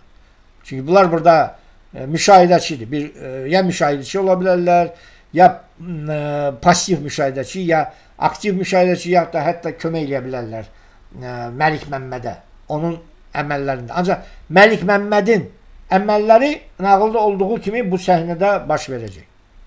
Sonradan bunlar o səhnə qutarandan sonra Məlik Məmmədlə Oturub Məlik Məmməd soruşacaq ki, siz hara, bura hara, nöş gəlmisiniz, nə və s. Bunlar danışacaqlar ki, belə filan beş məkan ya itiriblər, yaxud e, nəyisə itiriblər, yaxud kimisə oğrayıblar, yaxud nəyisə oğrayıblar. Biz də gəlmişik axtarmağa, bizə bir məsləhət ver, ə, e, yaxud kömək elə ki, biz onu tapaq. Məlik Məmməd də ora bura, bax, burada həmin keçid, bax bu səhnə olacaq keçid səhnə. O səhnə ki, o fraqmentin səhnəsi qutarır. Ondan sonra axtarışçılar həmin səhnənin baş qəhrəmanı ilə başlayırlar. Deməli, ə, e, ünsiyyətdə olmağa ki, ona izah eləyirlər, nəyə görə gəliblər, məqsəd nədir, səbəb nədir? Bax, bu keçid ə, e, səhnəsidir ki, ə, e, o səhnə ilə il, ə, deməli, bu səhnə ilə bağlıdır, ancaq bundan da siz körpü atmalısınız yeni bir ə, fraqment səhnəyə. Başqa bir nağılın fraqment səhnəsi.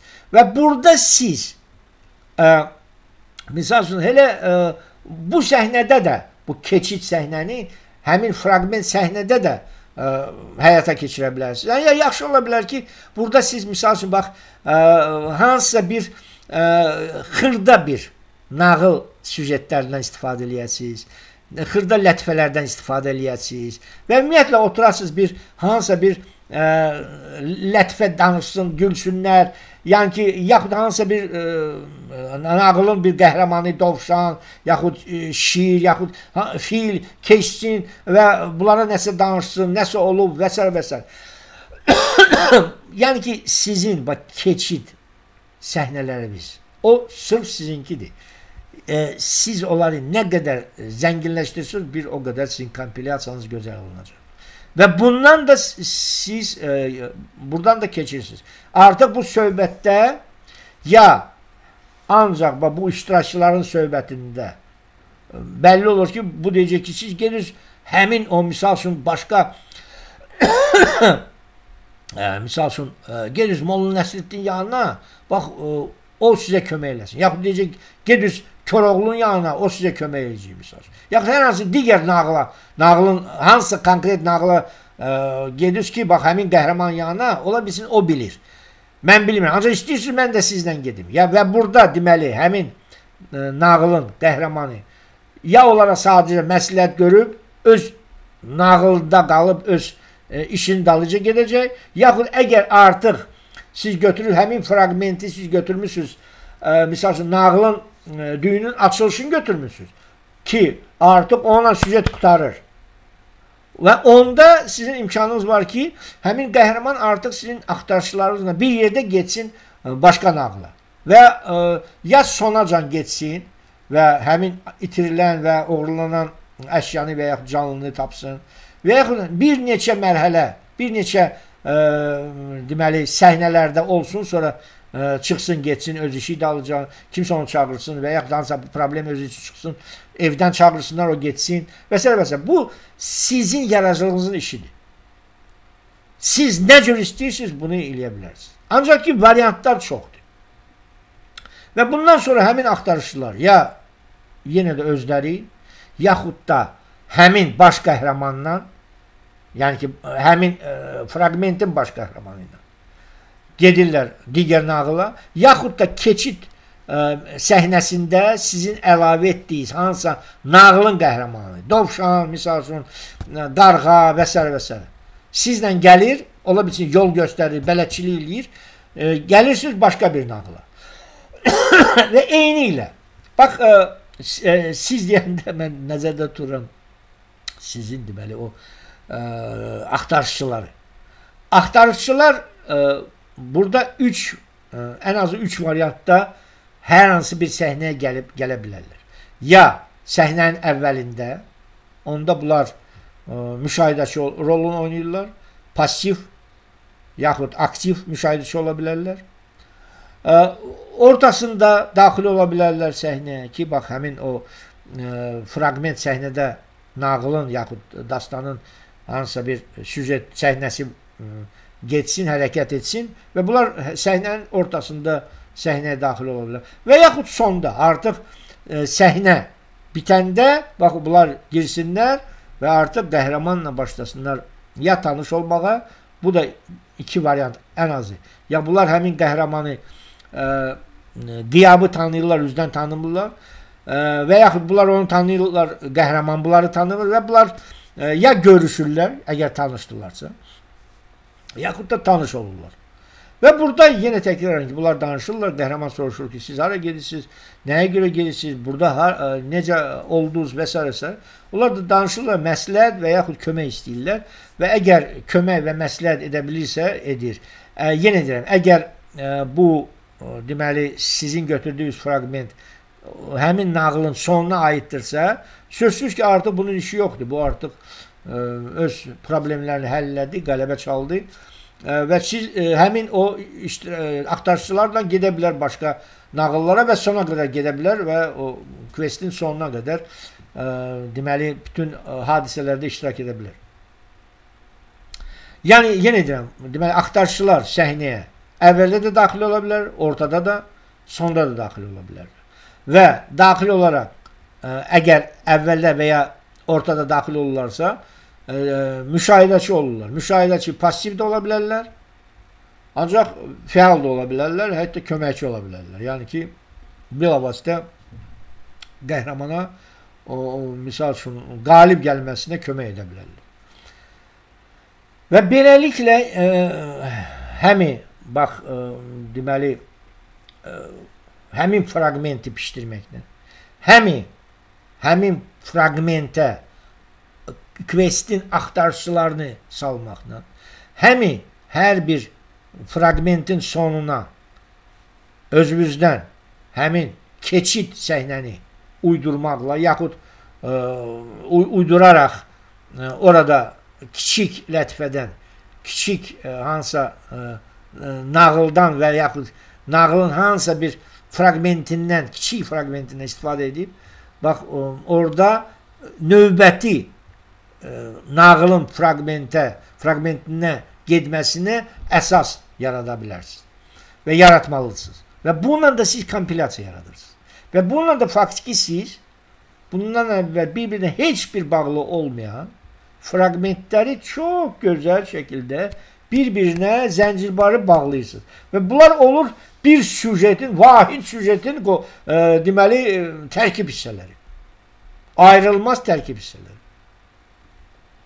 Deməli, indi keçirik personajlara. Mən artıq dedim ki, personajlar e, hər iki povestdə istəyir e, yeni təqviminə e, aid olan, istəyir Novruz bayramına aid olan. Başlıca qəhrəmanlar burada Dədə Qorqudla Baxar qızı. Ded Moroz, Snigurçku yox, Dədə Qorqud, Bahar qızı. Birincidə qış bayramında, xüsusi geyimdə, qış geyimində bizdə bizim adət ənənəmizə xas olan qış geyimləri. Yəni indi qışda cama daxı donda, köynəkdə gəzmir. Deməli, nə geyib? Kürk geyib, kürk də olsun. Və salam, qoy milli geyim olsun. Ancaq deməli, həmin bayrama uyğun bir geyim olsun. Sonra bunların bütün atributlar, aksesuarları, atributları hamısını siz düşünməlisiniz ki, hansı atributsuz həmin bayramı başlamaq olmaz ki, ya atribut, hansı aksesuar oğurlanmalıdır, yaxud itirilməlidir, yaxud həmin e, ya Dədə Qorqud, ya Bahar qızı, bunlardan yalnız ikisi oğurlamalı. Çünki başqasını oğurlasalar, bunların köməkçisini hətta oğurlasalar, indi heç kim inanmaz ki, bunsuz bayram bayram başlamaq olmaz. Bayram başlama olar. Bayram başlayar sonra taparsın. Misal cırtdan oğluyublar. Ne oğrasınlar da yok. Cırtdan olmasa da bayramı başlamaq olar. Ancaq Dədə Qorqudsuz, Bahar qızsız başlamaq olmaz. Və e, bu Bahar qızı, baxmayaraq ki, bunun adı Bahardır, bu olduğu kimi həm Novruz bayramında, həm burada da olacaq. Yəni ki, burada heç bir ziddiyyət yoxdur ki, Sniguruçka, sneg, yəni ki, qar sözündəndir. Ancaq bizdə bahar, bahar sözündən. Eyb yoxdur. Bahar, bahar qızı burada ə, əsas ə, qəhrəmandır və belə deyək də ə, Dədə Qorqudun ə, alter egosudur. Yəni ki, onun ə, sanki ə, ki, ə, deməli ə, sağ əlidir. O sağ əli olmadan bayramı başlamaq. Ancaq adı Bahar qızıdır. Burada heç bir ziddiyyət yox. Çünki həmin Bahar qız qışda da yaşayır, payızda da yaşayır, yayda da yaşayır, ancaq baharda da bahar qızıdır. Vəssalam. Bütün il həmin bahar qızıdır. Yəni ki, bahar, baharda doğulan qızdır. Baharda e, onun xüsusiyyəti bahar qızı. Ancaq o demək deyil ki, ancaq baharda yaşayır, baharda da ölüb gedir və ondan sonra yox.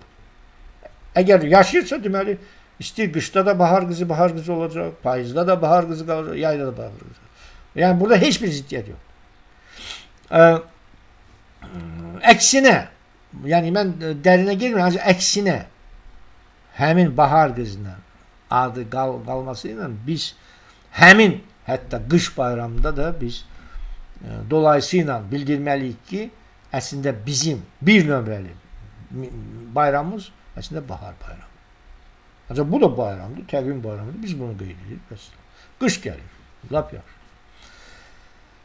E, deməli, e, bu iki dənə başlıca qəhrəmanlardır. E,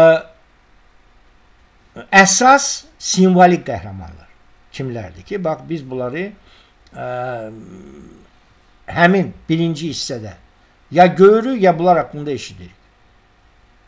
Yəni ki, bir var fragmentlərin, fragment səhnələrin baş qəhrəmanları, protagonistləri, onların antagonistləri, orada köməkçi, ikinci dərəcəli epizodik qəhrəmanlar. Bir də var ki, ə, əsas simvolik qəhrəmanlar ki, biz onları artıq povestin əvvəlində görəcəyik və yaxud onlar haqqında eşidəcəyik.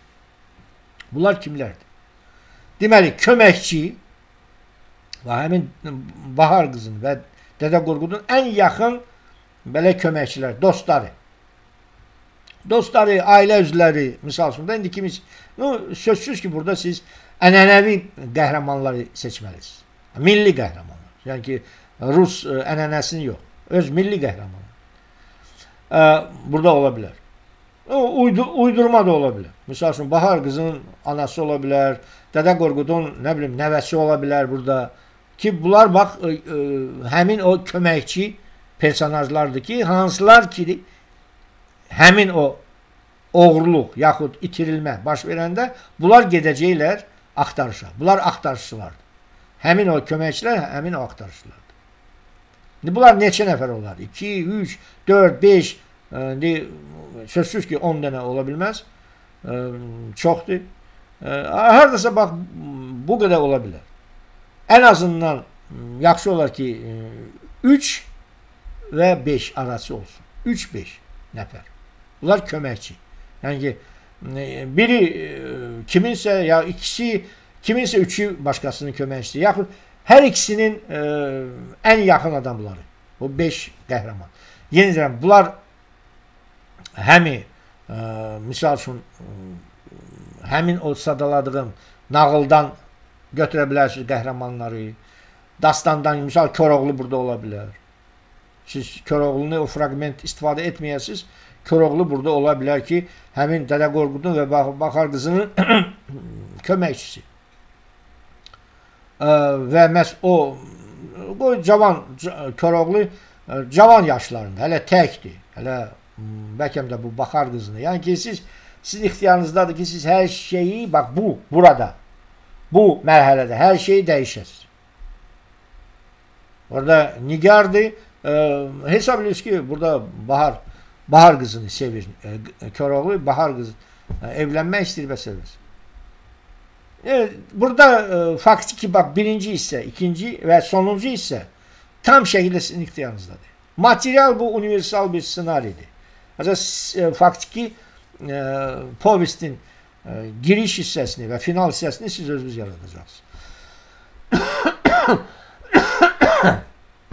Deməli, e, burada ikinci dərəcəli personajlar, həmin o əsas simvolik personajların içərisində ikinci dərəcəli personajlar.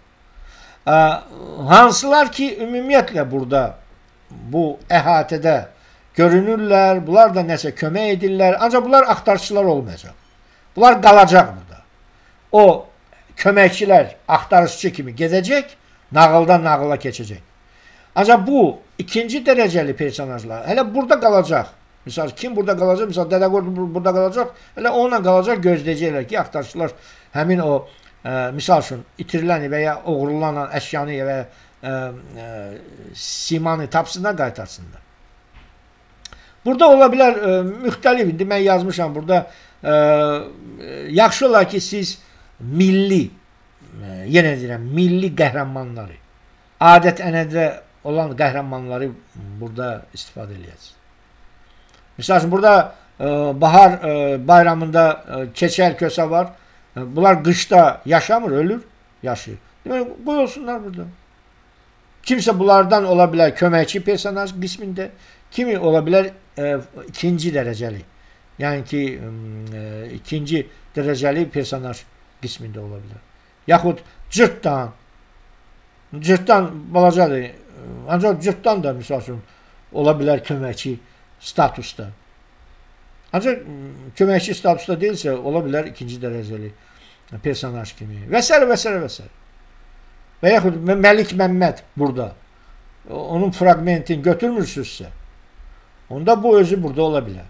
Hansı nağılı və ya hansı dastanı, hansısa bir ə, nəyi siz istifadə etməyəcəksiniz o süjetin ortasında. Həmin əsərin qəhrəmanını siz burada istifadə edə bilərsiniz. Həmi köməkçi personaj kimi, həmi ikinci dərəcəli personaj kimi. Ə, sonra burada əsas simvolik personajlar təsnifatına daxildir həmin o antagonistlər. Hansılar ki, bax, istəmirlər ki, bu bayram baş tutsun.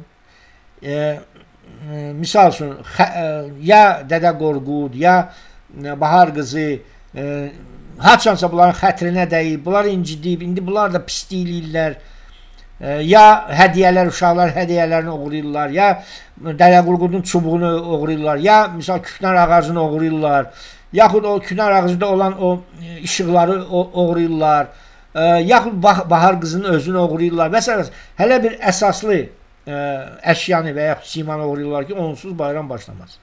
Və bunlar kimlərdir? Bunlar indi ə, Təpəgöz ola bilər burada, hansısa div ola bilər burada.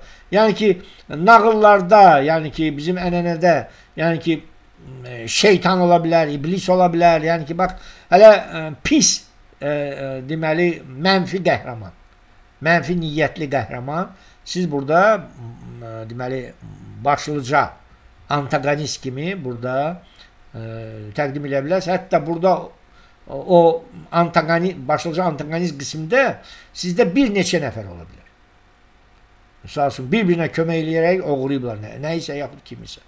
Çünki əgər Dədə Qorqudu oğurlayırlar, bir nəfər onu oğurlaya bilməz. Ancaq bir neçə nəfər onu ə, əlini, qolunu bağlayıb oğurladılar, apardılar, bindirdilər ata və ya arabaya harasa apardılar. Yəni burada artıq bir neçə dənə başlıca antagonist personajı ola bilər və onları siz tapmalısınız. Yəni ki, e, nağıllarda hansısa bir e, mənfi obrazlı ya e, deməli ə, qarı, hansısa qarı ə, deməli ə, ola bilər yenə də şeytan, iblis, nə bilim div, təpəgöz və s. və s. Və bunlar ola bilər ki. Və ə, sözsüz ki, sonda ə, questin sonundakı ə, o itirilən və yaxud oğrulan ə, əşya və yaxud sima tapılanda həmin o başlıca antagonisti siz ona qalib gələ bilərsiniz və burada nəzərə alaraq ki, siz bu əsəri əslində uşaqlar üçün yazırsınız, yaxşı olar ki, yəni ki, bu mütləq deyil. Siz lab onu məhv eləyə bilərsiniz. Ancaq məhv də yəni ki, lab öldürə də bilərsiniz. Yəni ki, sizin öldürə bilərsiniz, yox, yəni siz bir müəllif kimi. Sizin həmin o axtarışçılar. Yaxud onu hansısa bir həmin çubuqla yox eləyə bilərsiniz. Ən yaxşısı yox eləyə bilərsiniz ki, qan qan tökülməsin. Və yaxud onu e, pislikdən çəkindirə bilərsiniz. Onu da özünüzlə, yəni ki, həmin axtarışlar özləri ilə gətirə bilər və o da hamı ilə şənlənə bilər və peşmançılığını bildirə bilər və s. və s. ki, e, mən hisslənmişdim, mən incimişdim və s. və s. indi mənə izah elədilər və s. və s. Yəni ki, bax bu cür e, mülayim şəkildə olsa sözsüz ki, ancaq müəllifsizsiz, sizin müəllif hüquqlarınız var, siz nə cür istəyirsiniz, o cürdə bax bu səhnələri qura bilərsiniz. Sonra ə, gəlir artıq ə, ikinci dərəcəli fraqmentar personajlar. Həmin personajlar ki, biz onları hansısa bax, o orta hissədə olan fraqmentlərin içərisində biz onlarla görüşəcəyik. Orada var ikinci dərəcəli protagonistlər ki, hər nağılın öz baş qəhrəmanı var da. Bax, onlar artıq ümumi süjet çərçivəsində olacaqlar ikinci dərəcəli protagonist. Və yenə təkrarlayıram, onlar ancaq öz səhnəsində əvvəldən axıracan fəaliyyət göstərib, onunla da biz onları daha görməyəcəyik. Ola bilsin, onlar bu fraqmentdən çıxıb ayrı fraqmentlərdə iştirak etsinlər, sonradan hansısa mərhələdə e, çıxıb getsinlər. Ola bilsin, axıracan e, questdə iştirak etsinlər. Ancaq lap onlar ancaq öz fraqmentdə iştirak edib getdi. Yaxud bir neçə mərhələdən sonra getdi. Sonda, sonuncu final hissəsində hamısı kim ki iştirak edib, hamı o bayramda, o səhnədə iştirak etməlidir. Bu, bu qanundur. Yəni ki, bütün mərhələlərdə kimlər görünübsə səhnədə, sonda bayram səhnəsində, final hissəsində onlar hamısı səhnədə bu və ya digər yenə də öz e, e, qiyafələrində, öz simalarında ancaq bu və ya digər hansısa bir işi görərək orada iştirakçı kimi olmalıdır. Yəni ki, siz bunu nəzərə almalısınız ki, onlar hamısı artıq sizin final hissənizdə siz onlar hamısını hərəsini ayrı-ayrıda təsvir etməlisiniz. Ki hər biri nə bilim odun qalır, biri nə edir, biri su gətirir və s. s. Biri rəqs edir, biri şeir deyir və biri saz çalır və s. Yəni ki, bu bayram onlar həmin bayramın hamısı iştirakçılarıdır. Deməli, ə, ikinci dərəcəli protagonistlər və sözsüz ki, həmin səhnədə bunların antagonistləri olacaq ki, çünki ə, o baş qəhrəman kimləsə və nəyinsə orada ə, öz problemini həll edəcək. Ə, və sonra ikinci dərəcəli antagonistlər, yenə deyirəm, orada ikinci dərəcəli epizodik ə, qəhrəmanlar da ola bilər ki, yenə deyirəm, o asılıdır sizin fraqmentlərinizdən və necə siz o fraqmentlərin üzərində işləyəcəksiniz, ondan asılıdır. Ki, nə dərəcədə onu safsür edəcəksiniz, e, ixtisar edəcəksiniz, sadələşdirəcəksiniz və yaxud mürəkkəbləşdirəcəksiniz, hər şey sizin əlinizdədir. Müəllif sizsiniz. Olduğu kimi də qoya bilərsiniz, nə cür var? Onu sadələşdirə bilərsiniz, daha da mürəkkəbləşdirə bilərsiniz. Yəni bir neçə bir səhnədə bir neçə ə, e, o ə, deməli nağılda olan bir neçə səhnəni birləşdirə bilərsiniz. O sizin ə, səlahiyyətinizdədir. Ə, ancaq ə, sözsüz ki, yenə deyirəm, həcmi, ə, ümumi həcmi 100 səhifədən çox olmamalıdır. Yəni ki, ə, hər nağıl nə qədər olacaq, yəni ki, o ayrı məsələdir. Ancaq e, siz artıq hər bir nağılı fraqment şəklinə salanda bir yerdə həcmi 100 səhifədən çox olmamalıdır. Bax 15 dənə misal üçün fraqment 15 dənə fraqmentin arasında olan 14 dənə keçid səhnələri və ə, e, ən azı 2 səhnədən ibarət giriş hissəsi, 2 səhnədən ibarət deməli final hissəsi, yəni ki, giriş hissəsində ekspozisiya düyün, yəni düyündə məlum olacaq ki, nəyisə itiriblər, yaxud nə, kimisə oğrayıblar. Ə, sonda iki dənə, ən az iki dənə səhnə, düyünün açılışı, hansında ki, artıq quest sona gəlib çatacaq, yəni ki, həmin o ə, itirilən və yaxud oğurlanan əşyanı və yaxud simanı tapacaqlar, azad edəcəklər və ə, e, deməli final səhnəsi. Ümumiyyətlə final hissəsi, ancaq final hissəsi ən azı 2 dənə səh səhnədən ibarət olacaq. Yəni ki, e, questin sonu, düyünün açılışı və ə, e, deməli final səhnəsi. Yəni ki, artıq bayram ə, həmin ə, əşyanı və ya simanı gətirirlər, o ə, həmin ritual, bayram ritualını yerinə yetirir və bayram başlayır, şənlik başlayır, nə bilim, ə, rəqs edirlər, mahnı oxuyurlar, şeir deyirlər və s. və s. e, bax bunların həcmi sözsüz ki 100 səhifədən artıq olmamalıdır. Ehtiyac yoxdur buna. Az olsa mümkündür. Ancaq çox lazım deyil. Ə, yəni ki, siz həmin o fraqmentlərin həcminə ə, ə, müəyyən edəndə bax bunu nəzərə almalısınız ki, sözsüz ki, bütün nağılı saxlamaq lazım deyil. Səhnənin hansısa ə, nağılın hansısa bir səhnəsini və yaxud bacarırsınızsa bir səhnədə bir neçə səhnəni birləşdirib bir səhnə qismdə verə bilərsiniz. Və onun həcmi nə qədər olacaq? Ə, ilkin mərhələdə olsun. Ancaq sonradan hesablayıb əlbəttə ki, siz görəcəksiniz. Hesablamaq sizə asan olacaq, çünki siz eyni faylda bütün bu işləri görəcəksiniz. Əvvəlcə hamısını dolduracaqsınız bir fayla, sonra başlayacaqsınız yavaş-yavaş ixtisar eləməyə. Və faylın adlarını kopya eləyib təzə, təzə, təzə ə, misal üçün birinci redaksiya, ikinci redaksiya, üçüncü redaksiya ki, ardıcıl bütün variantlar sizin gözünüzün qabağında olsun və siz qayıda biləsiniz. Misal nəysə sizi qane etmədi, hansısa redaksiya, siz təzədən qayıdırsınız, e, bundan əvvəlki redaksiya, təzədən onu kopya eləyirsiniz, təzədən onu adlandırırsınız, misal üçün, üçüncü redaksiya, başlayırsınız onun üzərində işləməyə. Və sözsüz ki, fayl açılanda bütün orada olan ə, mətnlərin ümumi səhifəsi var da. Məsələn, bir yerdə artıq göstərəcək. 98 səhifə, normaldır. 110 səhifədir, deməli yaxşı olar ki, siz onu ixtisarlayasınız.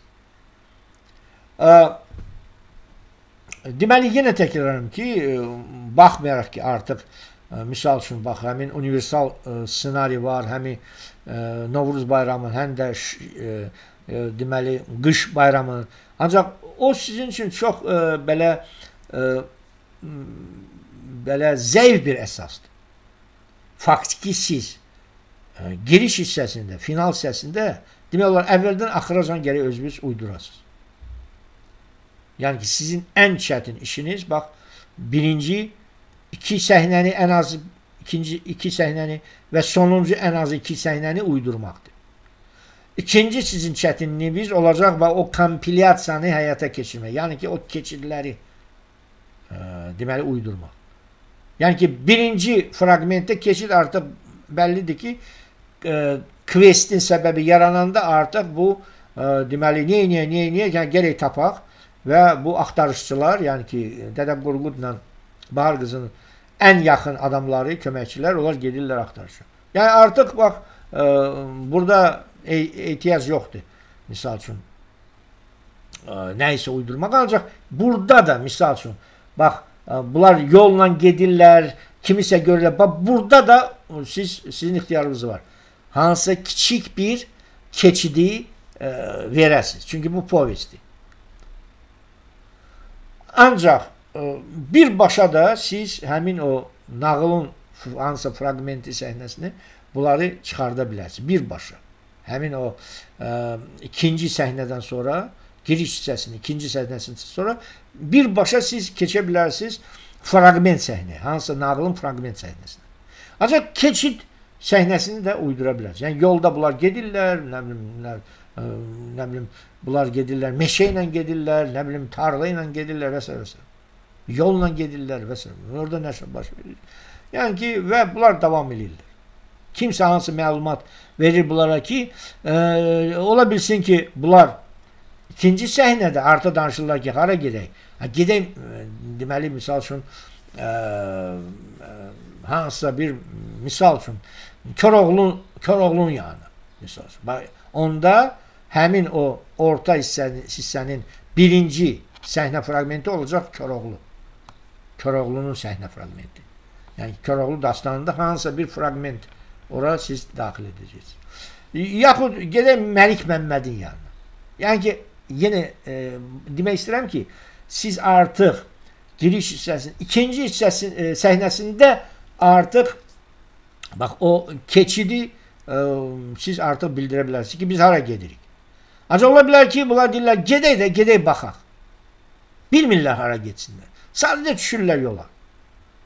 Və onda ehtiyac var ki, həmin keçid səhnəsini o ikinci səhnədən sonra, giriş hissəsinin ikinci səhnəsindən sonra və ə, e, deməli orta hissənin birinci fraqment səhnəsindən əvvəl Bunların arasında siz salarsınız həmin o keçid səhnəni.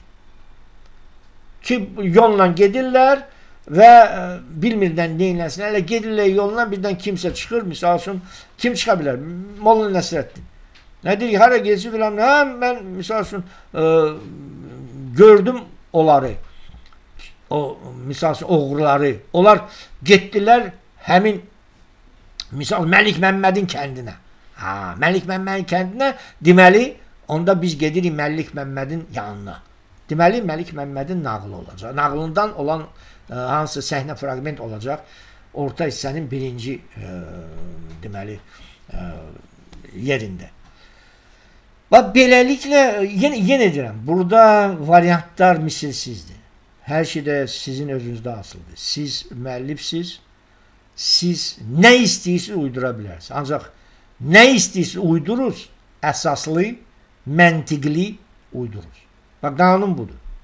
Əgər hər şey əsaslıdırsa, əgər hər şey ardıcıldırsa, məntiqlidirsə, heç bir e, sual doğura bilməz. Kim nə istəyir, nə cür istəyir? Realistik uydurmaq istəyirsə, realistik uydursun. Fantastik uydurmaq istəyirsə, fantastik uydursun. Çünki bu nağıldır. Burada nə cür istəyirsə, ən belə e, həyatda olmayan bir şey uydura bilərsiniz. Hətta bir günkü hansısa bir qəhrəmanları da o nağılınıza sala bilərsiniz. Pokemon, nə bilim, nə, nə, nə, hansını istəyirsiniz. Hətta real qəhrəmanları da sala bilərsiniz. Kimlər istəyirsiniz? E, ironiya ilə, e, misal məzəli e, vəziyyətdə və yaxud çox ciddi vəziyyətdə, yəni ki, o hər şey sizin əlinizdədir. Heç kim sizə heç nə deyə bilməz. Müəllif sizsiniz. Ancaq bir şərtlə ki, nə yazırsınızsa o məntiqli olmalıdır, əsaslandırılmış olmalıdır e, və ardıcıl olmalıdır. Və bu qanundur. Bu varsa, ya o sizin ixtiyarınızdır. Nə cür istəyirsiniz uydurur. Nə istəyirsə uydurur. Heç bir sərhəd yoxdur. Hədd yoxdur bu məsələdə. Ən fantastik şeylər uydura bilər. Hansısa robotları sala bilərsiniz ora. Olsun. Çünki siz bu nağıl yaradırsınız və əslində siz uşaqlar üçün yazır, yazırsınız və bilməlisiniz ki, bugünkü uşaqlara nə maraqlıdır. Deməli, ə, e, sonra nə demək istirdim ki, ə, ə, bax bu işi, bütün işi gördünüz. Bu hələ son deyil. Bütün işi gördünüz, ə, yığdınız, bax bu məsələlər hamısını və sonra nə edirsiniz? O mənim skem metodologiyam ki var. Onun əsasında bütün o ə, e, deməli e, bəndlərə siz cavab verirsiniz. Əvvəldən axıra. Bax bunları, bunlara cavab verəndən sonra siz artıq başlayırsınız ə, ə, deməli mükəmməl şəkildə həmi birinci və sonuncu hissələr üzərində uydurmağa, həmi o kompilyasiyanı ə, artıq ə, həyata keçirib vahid bir süjet yaratmalı. Ancaq bundan əvvəl, yəni ki, ilkin mərhələ texniki mərhələsidir. Siz tapırsınız, safçür edirsiniz, bölürsünüz, qurursunuz, deməli, ardıcıl şəkildə. Sonra nə edirsiniz? Sonra skem, mənim skem metodologiyam üzrə bütün o bəndləri özünüz üçün yazırsınız ki, hər şey aydın olsun. Bax, o qəhrəmanları yazırsınız. Bax nə, mən indi dediyim kimi, çünki artıq biraz orada fərq var. O skem metodologiyada olan ə, e, təsnifata ə, e, deməli biraz ə, e, fərq var o baxımdan ki, orada ə, deməli ə, misal üçün protagonist ə, qismində olacaq həmin başlıca protagonistlər. Həm də ə, ikinci dərəcəli protagonistlər. Antagonistlər olacaq başlıca, həm də ikinci dərəcəli protagonistlər köməkçi olacaq ə, başlıca köməkçilər, yəni Dədə Qorqudla Bahar qızın köməkçiləri və e, ikinci dərəcəli köməkçilər, məsəl üçün o ə, fraqment səhnələrin baş qəhrəmanların köməkçiləri və s. və s. Yəni burada faktiki e, iki dəfə çox siz ə, o personajları özünüz üçün müəyyənləşdirməlisiniz. Çünki burada faktiki ə, deməli ə, ə, bir süjetin içerisinde e, birçok süjetler. Yani ki e, nəinki 15 dənə, əgər 15 dənə fragment seçmisiniz. Hətta e, məsəl o bayram ssenarisi var. Onun öz qəhrəmanları. Deməli, ən azından hardasa 15 dənə seçmisiniz, 16 süjet burada var. Və hərəsinin o qəhrəmanları var. Ayrı məsələ ki, siz onu pişdirəcəksiniz, bir vahid, bir zəncirvari, bir vahid süjetə çevirəcəksiniz, o ayrı məsələ. Ancaq bu spesifika komparativ ə, nə, ə, yazının, komparativ bədii ədəbiyyat əsərinin spesifikası odur ki, bu, burada biraz ə, personajlar biraz çoxdur. Ə, sonra ə, bax bütün o skem metodologiya ilə işləyəndən sonra sözsüz ki, siz artıq başlayırsınız tam şəkildə bax uydurmağa. Həmin ə, deməli, giriş hissəsini uydurursunuz, Sonra başlayırsınız həmin o fraqmentləri pişdirirsiniz, keçidləri uydurursunuz. Gəlirsiniz, çıxırsınız questin sonuna. Deməli, həmin düyün açılışını, səhnəsini uydurursunuz. Baxmayaraq ki, siz onu şamil edə bilərsiniz hansısa bir nağılın, hansısa bir məkanına, hətta nağılın qəhrəmanların iştirakı ilə onu həyata keçirərsiniz. Məsələn, Təpəgözün yaşadığı bir hansısa bir məkana məkanda həmin o səhnəni uydurarsınız. Ancaq faktiki siz onu uydurmalısınız. Çünki hələ bir şey yoxdur. O sizinkidir. Siz onu uydurursunuz o səhnəni. Hər hansı bir məkana, hər hansı bir zamana aid edə bilərsiniz. Ancaq səhnə sizinkidir. Siz onu uydurmalısınız faktiki əvvəldən axıracan. Və eyni ilə baxmayaraq ki, ə, deməli artıq ə, hər hansı hər iki bayramın ssenarisi var və onun e, o ritualın, seremoniyanın e, ssenarisi var. Ancaq yenə də siz öz povestinizə uyğun həmin final hissəsinin, final səhnəsini e, yenə də uydurmalısınız. Və bu baxımdan ən böyük çətinlik sizin üçün bax dörd səhnədir. Birinci iki səhnə, ikinci və sonuncu iki səhnə və onlardan qat-qat deməli az çətin olan o keçid səhnələridir. Keçid onları da e, ya tam şəkildə uydurmalısınız, yaxud da sadəcə yenə də o e, kompilativ üsuldan istifadə edərək siz hansısa kiçik lətifələri, e, hansısa nağıllardan kiçik bir fraqmentləri və yaxud ümumiyyətlə qəhrəmanların hansısa bir hərəkətlərini, qəhrəmanlar və onların hərəkətlərini götürüb orada istifadə edə bilərsiniz. Və ən son çətinliyə görə ən son yerdə duran məhz bax həmin o fraqment səhnələri, yəni nağılların, dastanlardan götürdüyünüz fraqment səhnələri, yəni ki, artıq tam şəkilə, pişmiş şəkilə salmaqdır ki, bu ən az çətin məsələ. Və e, siz bunu asanlıqla bacararsınız. Əgər bax mənim dediyim metodologiya ilə siz həmin dediyim alqoritmlə addım ba addım eləsəniz o işi siz çox asanlıqla həmin 100 səhifəlik povesti, nağılı komparativ üsulla yaza bilərsiniz və yazandan sonra artıq adaptasiya eləyə bilərsiniz. Həm yazandan sonra bunu öz əsəriniz kimi e, deməli çap eləyə bilərsiniz.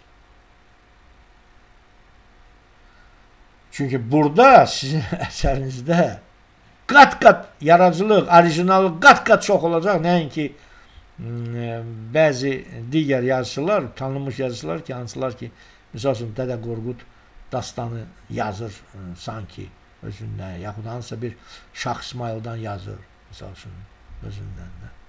Bax, bu məsələ sizin orijinalınız bilin. Qat-qat onların orijinallığından üstün olacaq.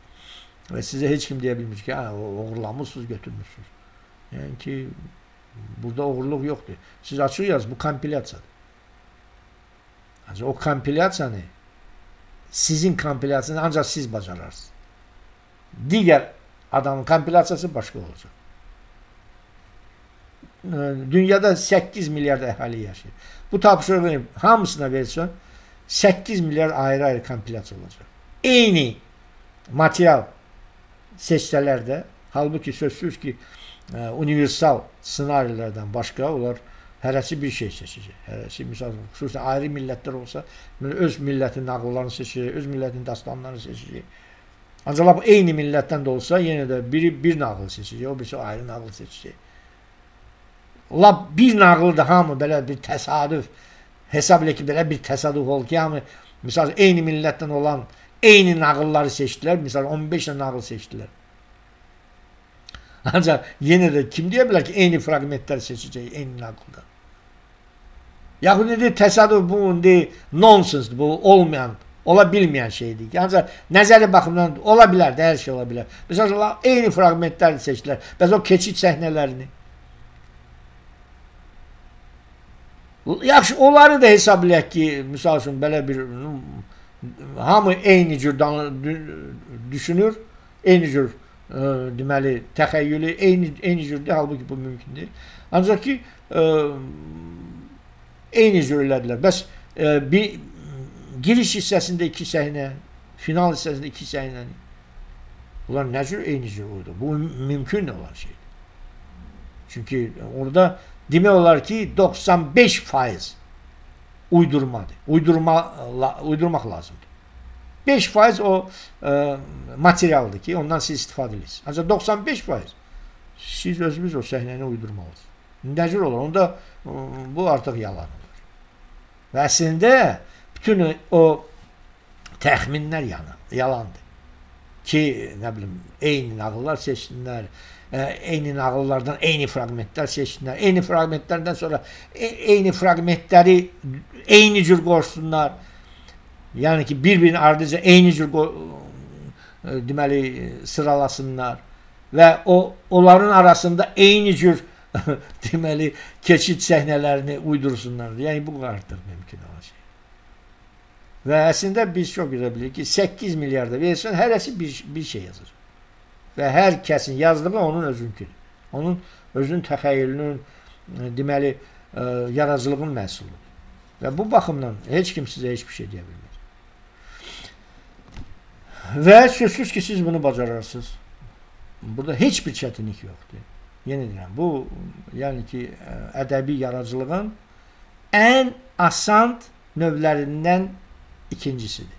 Birincisi adaptasiyadır, ikincisi bu komparativ nəsr əsəridir, povestdir. Ən asan, yəni ki, bunu istəyən və yenə deyirəm, bu metodologiyanı. Çünki metodologiyası işləsin, sözsüz ki, çətindir. Sözsüz ki, bunu ancaq da peşəkar e, yazıcı artıq 70 yaşı olan, 60 yaşı olan e, yazıcı yaza bilir. Ancaq bu metodologiyadan istifadə edib 18 yaşlı 19 yaş, 20 yaşlı genç yazıcı olmaq istəyən genç bunu yaza bilər. Əgər o mənim dediyim və işarə etdiyim çünki bir, bir bəzi şeylər mən axıracan aça bilmədim. Sözsüz ki, yəni ki, bunu bir dərsdə açmaq mümkün deyil. Artıq mən indi saata baxıram, 1 saat 45 dəqiqədə mən sizlə ə, təmasdayım. Mümkün deyil. Hətta 2 saatda da mümkün deyil. Ə, ancaq bunu siz yaza bilərsiniz. Sadəcə gərək ə, bir neçə dəfə ola bilsin bu dərsi qulaq asasınız. Hər bir mənim dediyim ifadəyə diqqət yetirəsiniz. Və nəyi başa düşmədiniz, ə, yazız. Mən çalışacağam bütün sizin suallarınızı cavablandıram. Yəni ki, mən həmişə, yəni ki, bunu edirəm və etməyə də hazıram ki, həmişə yaradıcı insanlara, fədakar insanlara kömək etmək mənim borcumdur və mən həmişə etmişəm, təmənnasız və edirəm də. İndi sözsüz ki, sizin yazılarınızı mən, yəni ki, e, siz indi özünüz e, deməli yazıb özünüz oxuya bilərsiniz. Sözsüz ki, indi mən bilavasitə sizə dərs keçmirəm, yəni ki, konkret, yəni real şəkildə sizə əyani şəkildə dərs keçmirəm deyə və siz mənim əyani rəsmi tələbələrim olmadığınız görə sözsüz ki, mən sizin yazılarınızı, yəni ki, yoxlamayacağam və s. Ancaq ki, sözsüz ki, siz e, özünüz də yoxlaya bilərsiniz, özünüz də yaza bilərsiniz, kimlərə də göstərə bilərsiniz. Ancaq yenə deyirəm, əgər e, siz bu mənim bax, e, deməli, tərtib etdiyim və sizə bu zaman demək çatdırmaq çalışım, çalışdığım metodologiya ilə, alqoritmlə işləsəniz, siz həmin ə, kompilyativ şəkildə povest, nağılı 100 səhifəlik çox asanlıqla yaza bilərsiniz. Və beləliklə ə, sizlərə, bütün o dinləyicilərə ki, hamı istəyir yazıçı olsun və yaxud artıq yazıçılıqdadır, istəyir bəzi yazıçılıq sirlərini öyrənsin, ə, inkişaf eləsin və s. və s. Mən sizin hamınıza deməli uğurlar arzulayıram, yaradıcı uğurlar arzulayıram və mən sizə hamınıza arzulayıram ki, siz fədakarcasına bu yazıçılığı sevəsiniz. Çünki yenə təkrarım ki, cəmiyyətin hə, hər bir cəmiyyətin, dünyada hər bir cəmiyyətin ə, qaymağı yazıçıdır. Zirvəsində, ziyalılığın zirvəsində duran yazıçı. Düzdür, bizdə bir əlin barmaqları ilə saymaq olar həmin yazıçıları. Bəlkə də heç 5 barmaq da ona ehtiyac yoxdur. Onlardan da azdır bizim əsl yazıçılarımız. Ancaq ümumiyyətlə belədir. Ümumiyyətlə belədir. Və siz e, məsəl üçün tarixə baxsanız görərsiniz ki, tarixdə e, hə, hər hansı bir millətin tarixində, mədəniyyət tarixində, incəsənət tarixində kimlər qalıb? Ümumiyyətlə mütəfəkkirlik tarixində kimlər qalıb? Ən böyük dahi yazıçılar. Çünki həmin e, yazıçılar məhz mütəfəkkirlik, e, dahilik səviyyəsinə qalxaraq artıq olur e, eyni zamanda filosof, psixoloq, sosioloq, estetik və s. və s. Hər bir şey. Və mən də arzulayıram ki, bax siz bu cür inkişaf edəsiniz. Öz daxilinizi, sizin daxilinizdə olan, mütləq şəkildə sizin daxilinizdə olan, ehtiyatda ola bilsin hələ ki olan daxilinizi yavaş-yavaş açasınız Və mən bunu sizə arzu edirəm və mən arzu edirəm ki, bu yolda siz fədakar olasınız. Çünki bunun yolu ancaq fədakarlıqdan keçir. Və siz gündə özlərinizdə işləyəsiniz yazıçı kimi və onda heç bir çətinlik olmayacaq. Bax həmin o dahiliyinizi açarsınız və o ə, yazıcı, dahi yazıcı səviyyəsinə məhz şedevr yazan ə, dahi yazıcının səviyyəsinə qalxarsınız. Mən bunu sizə arzu edirəm. Bununla da dərsimi bitirirəm. Yeni görüşlərə dək sağ olun, salamat qalın.